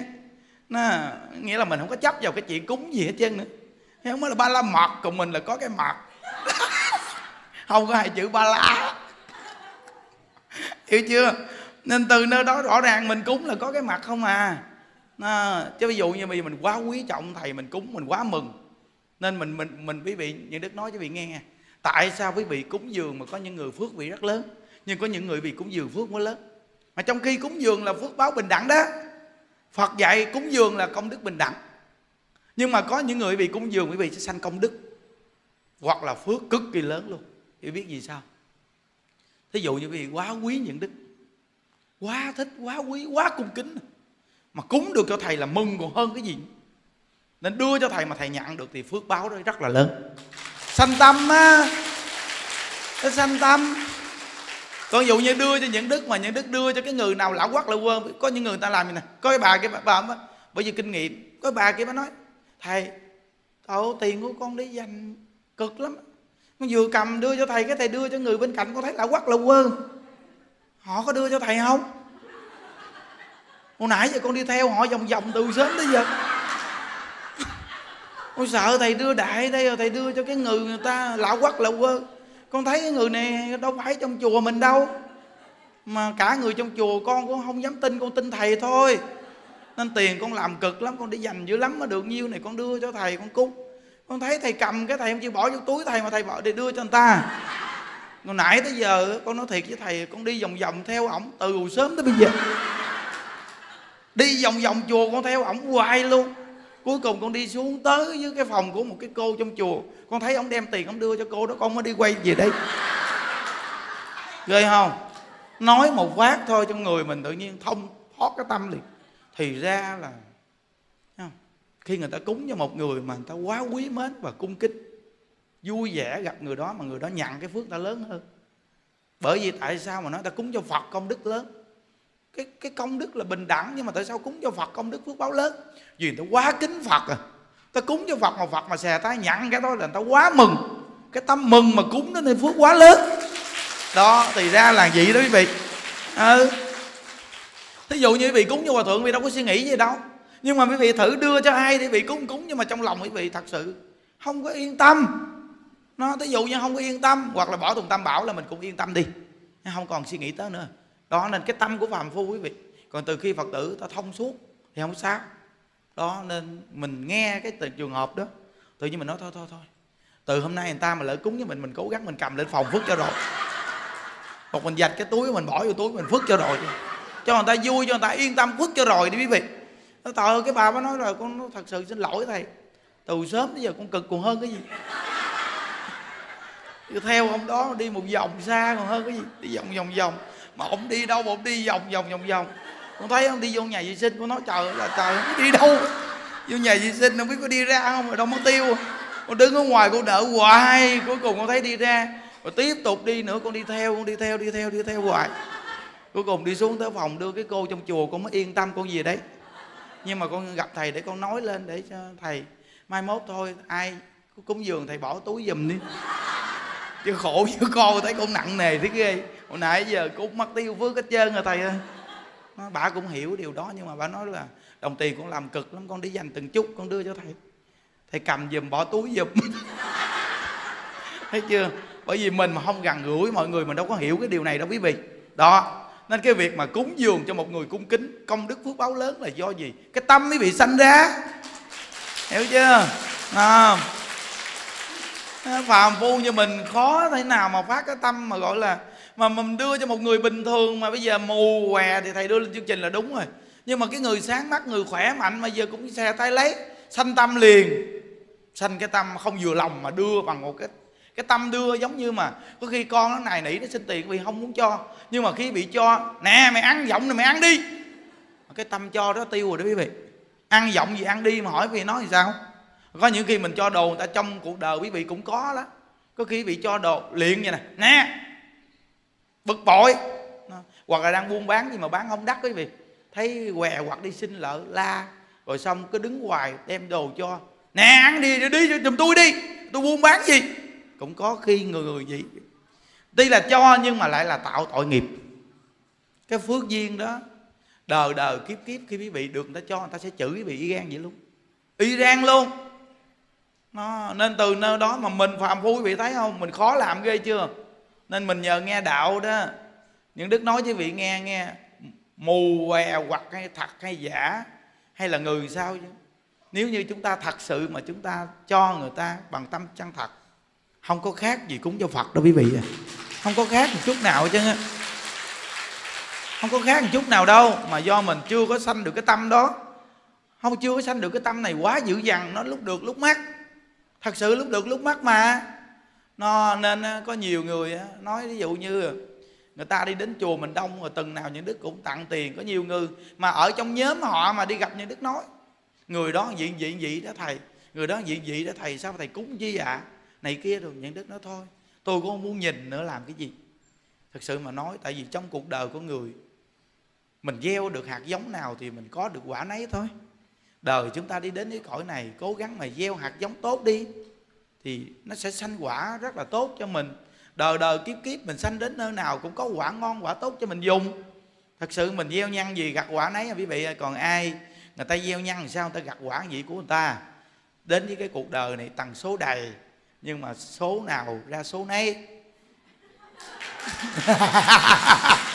Hiểu chưa? Số nào ra số nấy. Ai mà quý vị chọn số không chi? Quý vị chọn số không thì đời đời kiếp kiếp quý vị không có gì chân á tại sao mà sanh đến đời này mình nghèo thấy ghê chưa? À, tiền vừa vô tay mình nó lọt cửa sao hết trơn thấy chưa? Nó đâu có đậu đâu. Là vì ai mượn mình chọn cửa số không? Cuộc đời đi đến đây mình dùng hết trơn mình không có tạo ra gì mình à, mình còn số không. Không có. Thì đời đời kiếp kiếp mình có làm người mình không có phước thì mình nghèo thôi. À, còn ít gì mình cũng có được số 2, số 3 à, số 4, số 5, số 6, số 7, số 8, số 9, số 10 mình lên từ từ đi ha. Đó. Nên phải khóa cái tâm. Khóa cái tâm. Thật lòng thật dạ mà tài thi pháp thi vô ý thi nhiệt tình hết mình mà làm. À, những đức định trước lễ dưới quan âm này như đức tổ chức nhìn kiếm thị. Nhưng mà thôi làm kịp rồi. Qua dưới quan âm. Qua dưới quan âm là cái tuần mà qua dưới quan âm không tổ chức. Rồi thêm cái tuần thứ hai là ngày thứ sáu tổ chức. Kiếm thị, bây giờ là các vị trưởng đoàn là phát động chương trình được rồi. Kệ, mình làm đi. Những đức mà phát động thì bị có làm cứ sợ. Hiểu không? Làm tớ luôn đi, những đức nói hồi nãy rồi đó. Trồng cái hạt giống nào thì ra giống nấy. Có số bốc số nào thì được số nấy cố gắng bốc chôn trên trên trung bình chút nghe. Mình mà bóc được cái số trên trung bình á, thì đời đời kiếp kiếp mình sanh đến thế gian này bèo bèo, nhà mình cũng nhà đúc mà. Trên trung bình rồi. Còn nếu mà số cao là biệt thự nghe quý vị. Mình trồng hạt giống biệt thự mà, thì sanh ra là toàn là ở nhà biệt thự được không à? Mà mình lại à, tu hành nữa thì quá quý thật sự mà nói hoàn cảnh mà đầy đủ mà mình biết tu dễ độ sanh lắm quý vị ơi. Dễ độ sanh lắm. À, những đức nó thật sự bây giờ những đức mới thấy mình cảm ơn hòa thượng ông tạo ra hoàn cảnh cho mình. Cái hoàn cảnh này những đức dễ độ sanh lắm. Nhiều người người ta gặp những đức là người ta cứ nói là thầy có phước báo lớn quá. Mà không ngờ mình kéo hòa thượng chứ à, ờ. kéo hòa thượng chứ đó nên từ nơi đó mà mà, mà người ta gặp mình người ta cứ nói là thầy phước báo lớn quá. Cái cái cái hoàn cảnh mà của thầy lớn quá. Phước thầy lớn quá. Thấy không? Dễ độ sanh thấy chưa? Dễ độ sanh lắm. Bây giờ những đức nói người ta ta nghe lời lắm. Tại vì nhiều thứ những đức đầy đủ. Nên những đức làm ra người ta tin tưởng những đức. Nó còn nếu mà mà, mà không có gì sao mà ta tin? Không có gì người ta đâu có tin đâu. Nó ví dụ như mà, mà, mà bây giờ mỗi tuần thứ bảy đi nó nấu đồ ăn cho người ta ăn ngon ngon. Cũng phải có tiền mới làm. Rồi tối hôm nay mua mấy cái trái gì nó nó cũng xịn lắm cho người ta ăn. Rồi tự, tự nhiên người ta thấy tội nhà mình có mấy người mà khi mình không có mua cái trái này ăn mà thầy mua cho người ta ăn đông đấy ghê. Nó nó nó thấy không? Từ cái tâm đó đó mà mà dễ độ người ta. Chứ không phải chuyện giỡn đâu quý vị. Nó nên mấy đứa nít về chùa mình quý vị thấy không? Dễ được độ ghê không? Mấy thằng trai đồ nó dễ thương ghê. Tại vì sao? Vì ngày nào cũng mua đồ ăn đồ uống cho ăn. Nước ngọt đồ nó thèm cho nó uống. Mấy cô nói tàu uống nước ngọt nóng lắm thầy nó thích nóng mà kệ nó. Thích nóng ôi ôi có những cái mà người ta thích mà mình mình đừng có cản. Thấy không? À, thí dụ như bây giờ có những cô mấy cổ chiên đồ ăn những đức ăn mấy cổ sợ dầu những đức bị bị bị bị, bị, bị viêm cổ đó cái mấy cổ chiên, mấy cái lò gì mà nó không có dầu. À thôi thôi thôi thôi, có dầu tôi thích. Tôi miễn tôi ăn ngon là tôi thích nè. Chừng nào chết thì kỵ mồ. Nhưng tôi ăn là phải ăn được, tôi ăn ngon. Chứ miễn cưỡng bắt tôi ăn không được là tôi tôi phiền não, tôi bực bội lắm. Tôi bực bội, lúc đó nó còn xấu hơn không phàm phu mình hay mình mà xem tặng cùng cái tâm mình luôn. Mình mới biết được thì ra là trong cái cõi đời này con người chúng ta sống á nếu mang một cái tâm quan hỷ nó giải độc. Mà mình nói mình nói mà mình cái gì mình cũng kiên cử mà mình không không vui nghe. Kiên cử là tốt, nhưng mà quý vị vui đi. Thoát hoàn toàn cái tâm đi thì không sao. Nhưng mà kiên cử mà ăn không được đi. Rồi nó săn si đi thì nó độc còn ác hơn cái đó nữa. Nó miễn nó vui là nó giải độc. Cái tâm vui là giải độc. Các vị biết nè, những cái hình ảnh mà nhà khoa học đã thí nghiệm nè ví dụ như cái ông giang 4 tháng này ông thí nghiệm, ông cắt cái à, cái bơm ra, rồi ông à, để vô một cái hũ. Hai cái hũ, cắt cái bơm làm đôi bỏ vô hai cái hũ. Ông ghi một bên cái chữ là đáng yêu, một bên là đáng chết. Thì vị coi á, cái bên mà đáng yêu là cái trái bơm nó còn màu vàng. Ông để trong vòng một tháng hay gì đó. Còn cái bên mà đáng chết nó đen thui. Cũng là hai cái hũ mà thành hình ra vậy đó. Thí nghiệm. Còn ông để à, hai cái lọ này nè. Bên là ông để cảm ơn, bên là ông nó để đồ ngu. Trời ơi, cái bên cảm ơn nó còn cái màu đẹp lắm quý vị. Còn cái bên mà chữ nó đồ ngu, nó đen thui quý vị ơi. Nè, còn lọ cơm này ông để là tôi yêu bạn. Còn bên đây là ông để lọ cơm là đồ ngu thì cái đồ ngu nó nó thúi ình nè quý vị ơi. Còn tôi yêu bạn nó còn trắng tư cơ mà. Bây giờ ông thí nghiệm ra vậy thì cho mình bài học đặc biệt ghê vậy thì bản thân mình bị ung thư là do mình nghĩ tiêu cực đó. Chữ bớ, hung bạo, săn si, câu có là ung thư đó. Còn nếu như bây giờ mình ung thư rồi mà mình đổi tâm tính lại, mình khoan dung tha thứ hiền, niệm phật, ăn chay, phóng sanh, thì hết ung thư thay đổi lại mà. Hiểu không? Nó, nên nó quý vị biết à, bây giờ cái danh từ này thôi đó mà nó đã thiện là mà, mà, mà nó còn chuyển biến rồi đó. Không chi là danh hiệu ai với đạo phật. Danh hiệu ai với đạo phật mà quý vị đi đâu cũng niệm đi đâu cũng nghe nên bây giờ những đức hành trì cái máy niệm phật này nè cái máy niệm phật đeo cổ nè những đức bóp nhỏ xíu à. Vừa những đức nghe cái nghe cũng chưa rõ nữa. Tại vì đông người ta quá mà mình rất lớn như cái máy này lớn lên luôn thì nó khó có nhiều người nó nó, nó trở ngại này kia. Hồi bắt nhỏ xíu à tôi để tuốt trong luôn. Thấy không? Để vô luôn trong luôn. Không sao đâu tôi chấp nhận. Tôi nghĩ tội lỗi gì hết trơn á. Tại cái này là bản thân tôi tôi chấp nhận là quý vị cứ làm. Hiểu chưa? Để tuốt ở trong luôn để cho cơ thể mình được nghe. Máu huyết mình được nghe. Tại vì nhà khoa học đã thí nghiệm rõ ràng rồi. Cơ thể con người là 70% là nước mà bây giờ mà nếu mà nó được nghe một cái cái cái cái, cái danh từ thánh thiện hoài thì tức khắc nước cơ thể tốt. Mà nước cơ thể tốt là người ít săn hạn nghe. Cái máy niệm phật nó nhỏ nhỏ nhỏ niệm hoài hết pin thay cái khác bỏ vô. Cứ làm hoài vậy đó bằng đêm thì ngủ thì cái phòng có điệu niệm phật rồi. Đó vậy cứ cả ngày lẫn đêm đi làm làm việc gì cũng là để máy niệm phật nhỏ nhỏ để trong nhỏ nhỏ xíu luôn để hoài ở bên trong luôn. Nhà đức nó bảo đảm máu vì sẽ tốt. Chắc chắn luôn người mà máu tốt là sắc diện nó đẹp. Chứ sao? Chứ ai nói máu xấu mà đẹp? Bây giờ quý vị coi quý vị vừa tức lên cái là máu xấu liền. Tức một cái là tức khắc máu mình xấu liền. Nên quý vị coi khi mà mình tức mình soi gương coi. Ví dụ như bây giờ câu chuyện đi.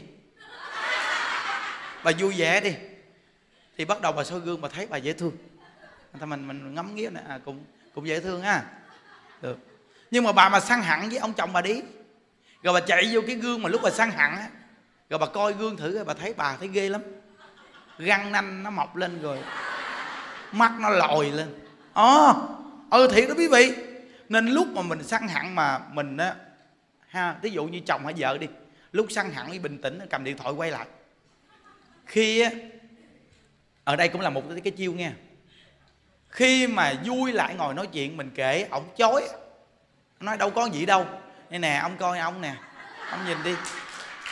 À ông coi ông nè. Cái này là tôi không phải là chăm thọt gì ông đâu mà tôi nói cho ông biết là ông bệnh. Ông làm gì ông bệnh, tội nghiệp ông. Thật sự tôi là vợ ông, tôi không có muốn ông bệnh đâu, ông à. Em không mình thương mà, mình nói vậy đó. Mà bây giờ ông gì nè, tôi biết rồi, tôi nghe thầy giảng, tôi hiểu. Ông gì là sao này ông bệnh dữ lắm ông, ông coi ông tức giận lên ông kì ông kỳ ông nhìn tướng ông kỳ nhìn mặt mày ông kỳ ông thấy ghê chưa? Nó ông tức giận đó bây giờ ông coi rõ ràng chưa?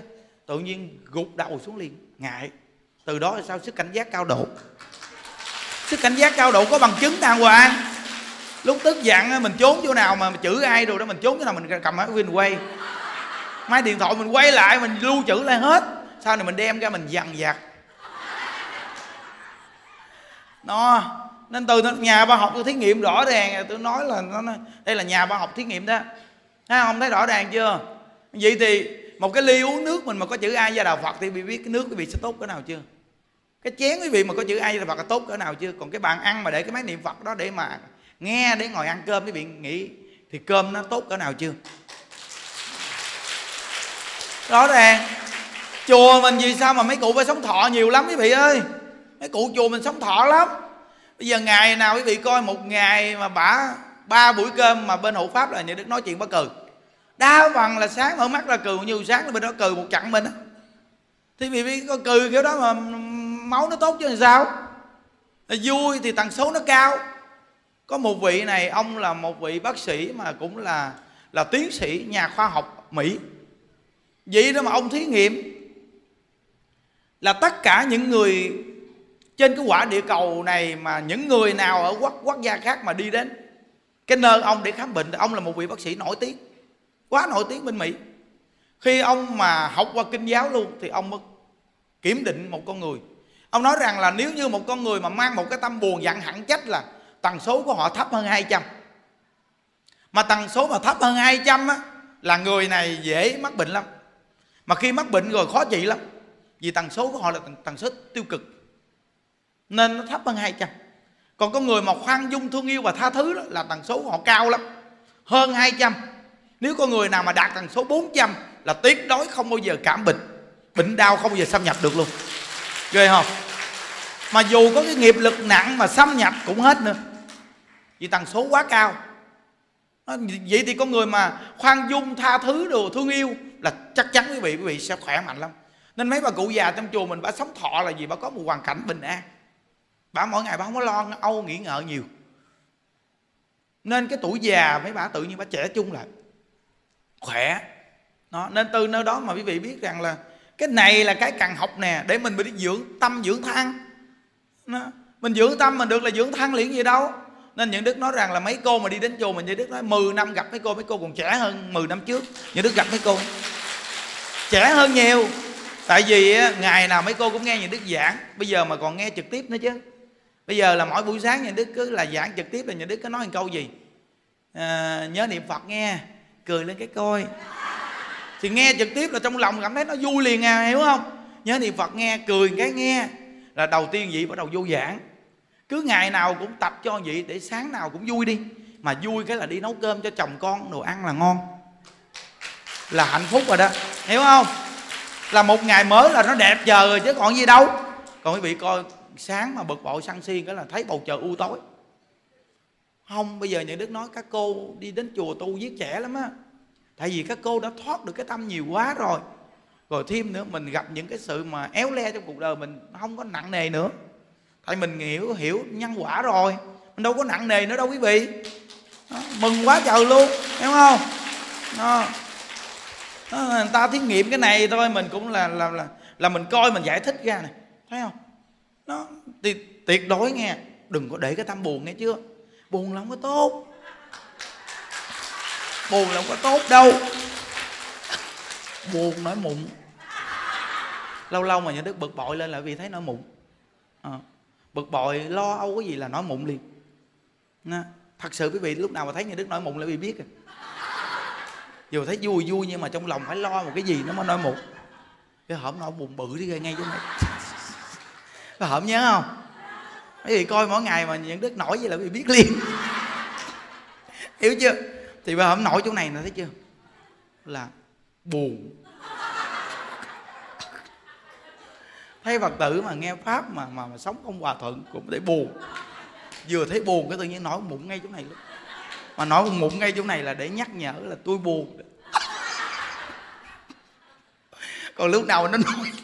Nó nổi ngay đầu lỗ mũi là tôi hẳn,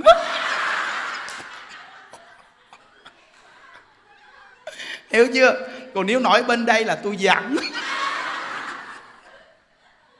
Hiểu chưa? Nên từ nơi đó mà khi con người mà nó thoải mái cái tâm rồi sắc diện vì tự nhiên tốt. Mà những đức nói với vị nghe nè khi cái tâm quý vị mà thường quan hỷ đó cả thịt da quý vị nó cũng mềm hơn. Một trăm phần trăm luôn.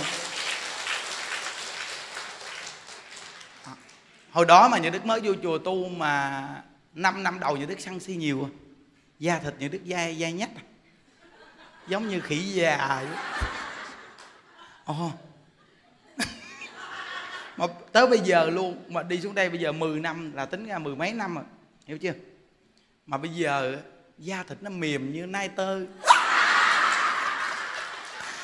Lạ ghê thấy chưa?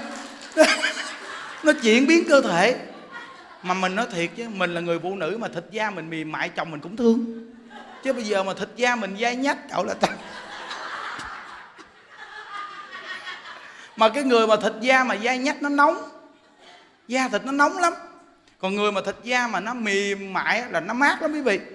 À, những đức nói bây giờ cơ thể như đức nó mát lắm. Lúc nào mình gờ cơ thể mình nó mát lạnh nè nó ngộ ghê. Còn ờ, lúc trước như đức mà tu mà săn si là cơ thể như đức nóng lắm. Lúc nào gờ cơ thể nóng nóng mà da nó dai nhách rồi quý vị ơi. À, mà cái bàn tay nó cũng cứng mà bàn tay nó cũng bự nữa. Mà khi mà mình tu mình an lạc bàn tay mình nó nhỏ lại.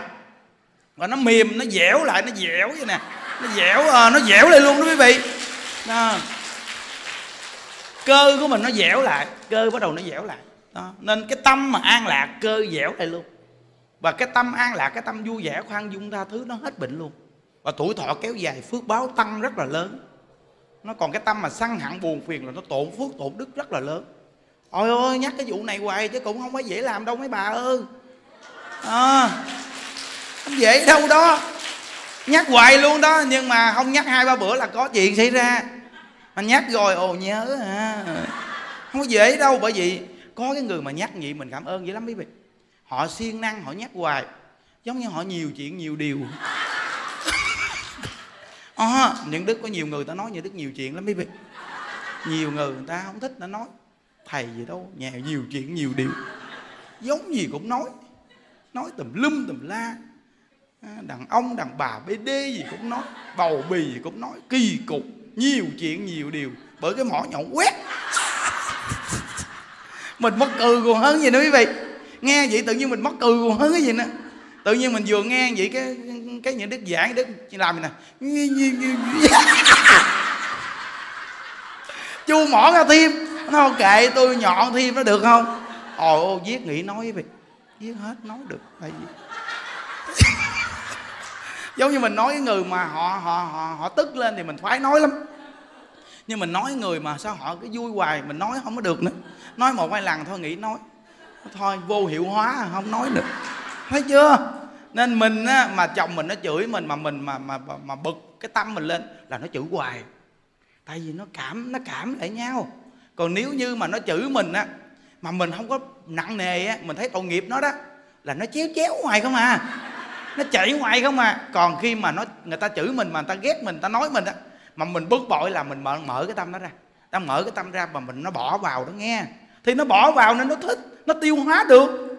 Nó tiêu hóa được nó những đức nói vì biết nó tiêu hóa được là nó cứ nó, nó tiến tới hoài. Cái gì cũng vậy chứ như mình niệm phật mà tiêu hóa được là mình niệm hoài. Còn người ta chăm chích mình mà mình tiêu hóa là mình tiêu hóa là bỏ vào á là là nó chữ hoài luôn đó. Còn nếu như mà quý vị mà mà mà mà, mà đóng cái tâm mà mà mà, mà bị bị chửi đó lại rồi là tức khắc quý vị dịu cái tâm quý vị là tức khắc nó chéo chéo ngoài không à? Nó chạy ngoài không? À chạy ngoài không à nó chạy ngoài không mà nó đâu có vô được đâu mà nói hoài. Nó nghĩ nói luôn. Nó không có nói nữa. Mà tới thằng khác nói. Tại vì mình đi đến cái cõi đời này mình trải nghiệm từng người. Mình trải nghiệm nhiều người, tại mình chửi nó nhiều người. Bây giờ nhiều người ta phải chửi mình quý vị. À nên từ nơi đó cái nghiệp duyên nhân quả phải tin vậy đó. Những điều nói vậy quý vị, tuy đơn giản nhưng mà những cũng nhắc tất cả những người phụ nữ. Có gia đình mà có con mà lỡ gãy gánh lo tu niệm phật đi. Dù ở xa cũng cứ nghe pháp gì đi rồi cứ sống những ngày tháng còn lại không có khổ đâu. Chắc chắn không có khổ. Thôi chúc quý vị an lạc nha. Ai di đầu vào?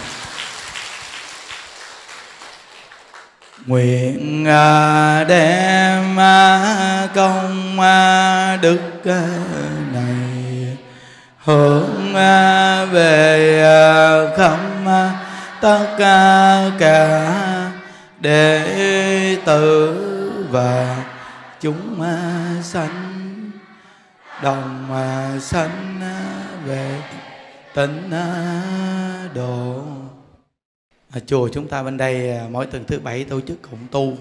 À, bây giờ càng ngày càng đông. Và mỗi ngày ở đây niệm phật bốn thờ. Nên rất nhiều người già khắp nơi nơi người ta về đây người ta à, ở đây người ta tu.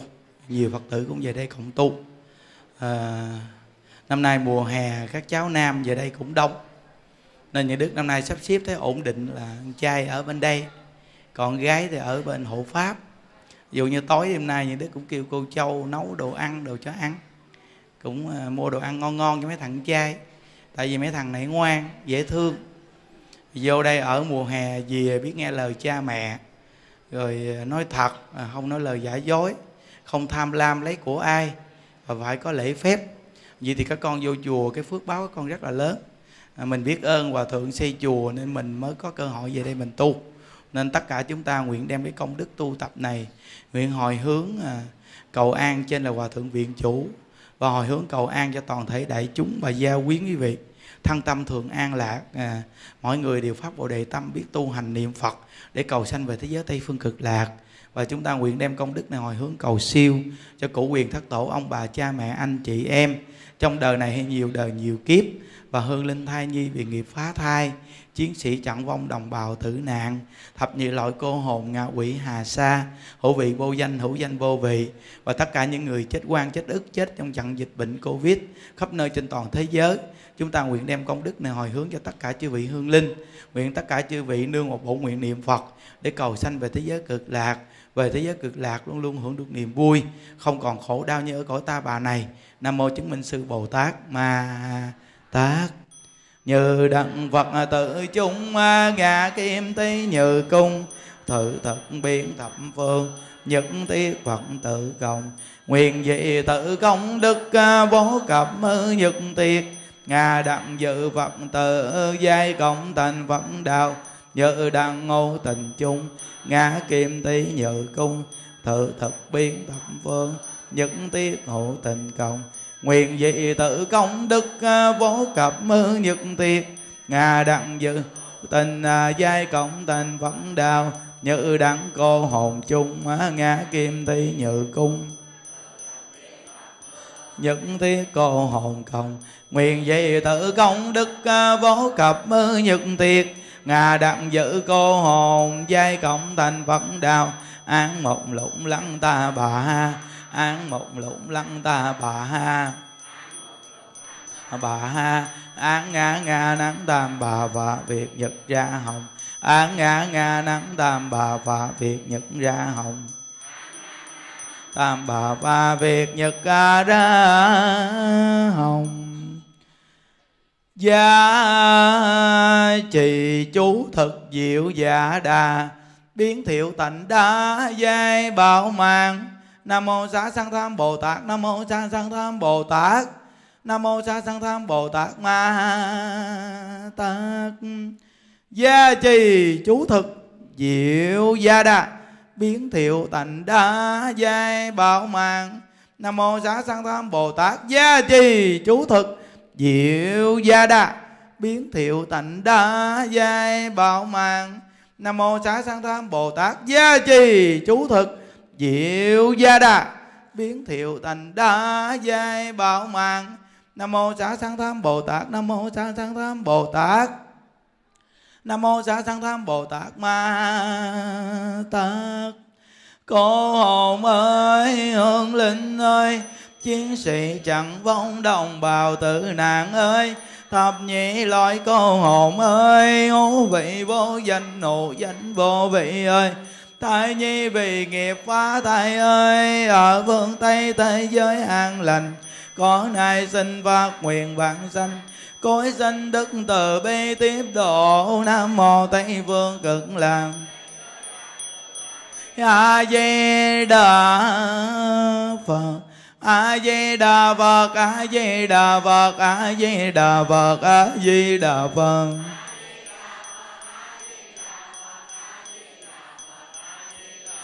A di đà phật a di đà phật a di đà phật a di đà phật a di đà phật di đà phật a di đà phật a di đà phật a di đà phật a di đà phật a di đà phật a di đà phật a di đà phật a di đà phật đà phật a di đà phật a di đà phật a di đà phật a di đà phật a di đà phật a di đà phật a di đà phật a di đà phật a di đà phật đà phật a di đà phật a di đà phật di đà phật a di đà phật a di đà phật à, chúng ta làm lễ phóng sanh nha. Cái công đức phóng sanh lớn dữ lắm. Nên nhiều người chúng ta đến cuộc đời này tại sao mà mình à, bệnh đau rồi à, sức khỏe yếu rồi tâm trí không được mạnh mẽ là từ do cái nghiệp sát sanh mà ra. Cũng như à, hồi nãy như đức giảng như đức nói cái chú mà bị ung thư ngay cần cổ đó cũng từ nghiệp sát mà ra. Nên từ nơi đó mà tất cả các cháu á, các con được à, đi đến chùa nghe niệm phật nghe pháp và được dự lễ phóng sanh. Tuyệt đối dù cho mình còn ăn mặn nhưng mà các con không có được đánh những con vật như con mũi con ruồi, con kiến mình không có tùy tiện giết nó. Vì giết nó không có kết quả gì hết. Mà mình giết nó còn mình còn mang cái tội sát sanh. Mà trong kinh Phật nói là tứ sanh phụ mẫu, là giống như tất cả những loài súc sanh đó từng là làm cha, làm mẹ của mình. Do tạo nghiệp mà bây giờ đỏ làm súc sanh. Những con chim này nó cũng là từng làm cha, làm mẹ mình. Nên từ nó đó mà do cái nghiệp mà bắt hiếu với cha mẹ nè, cái nghiệp mà giành giật của cải với anh chị em không biết thương nhau nè rồi cái nghiệp nói lời giả dối, rồi trộm cắp tài dâm, làm những điều tội lỗi. Từ nơi đó mà đỏ làm súc sanh. Nên từ nơi đó mà bây giờ các con và toàn thể đại chúng mà chúng ta nghe được cái cái công đức phóng sanh mà cái tội sát sanh thì mình ăn chay trường được thì mình nên ăn chay trường. Đừng có sợ ăn chay mà thiếu chất dinh dưỡng. Những đức thấy từ khi những đức ăn chay tới giờ lên được 25 kg có thiếu chất gì đâu, đúng không? Nên các con thấy những đức có ốm gì đâu mà có xanh sao không? Nó mập mạp, nó hồng hào, đàng hoàng. Từ nơi đó ăn chay không có thiếu chắc đâu, mà trong chùa mình nhiều người ăn chay cũng mập mạp. Nhưng những quan là do ông chưa mập thôi. Mai mốt ông mập rồi là ông mập dữ lắm, như từ từ. Như mấy cô bên bên chùa mình đây rồi nè có nhiều cô bảy mấy ký không ăn chay không bảy mấy ký. Nhưng liên nhẫn mà nó tám hai ký.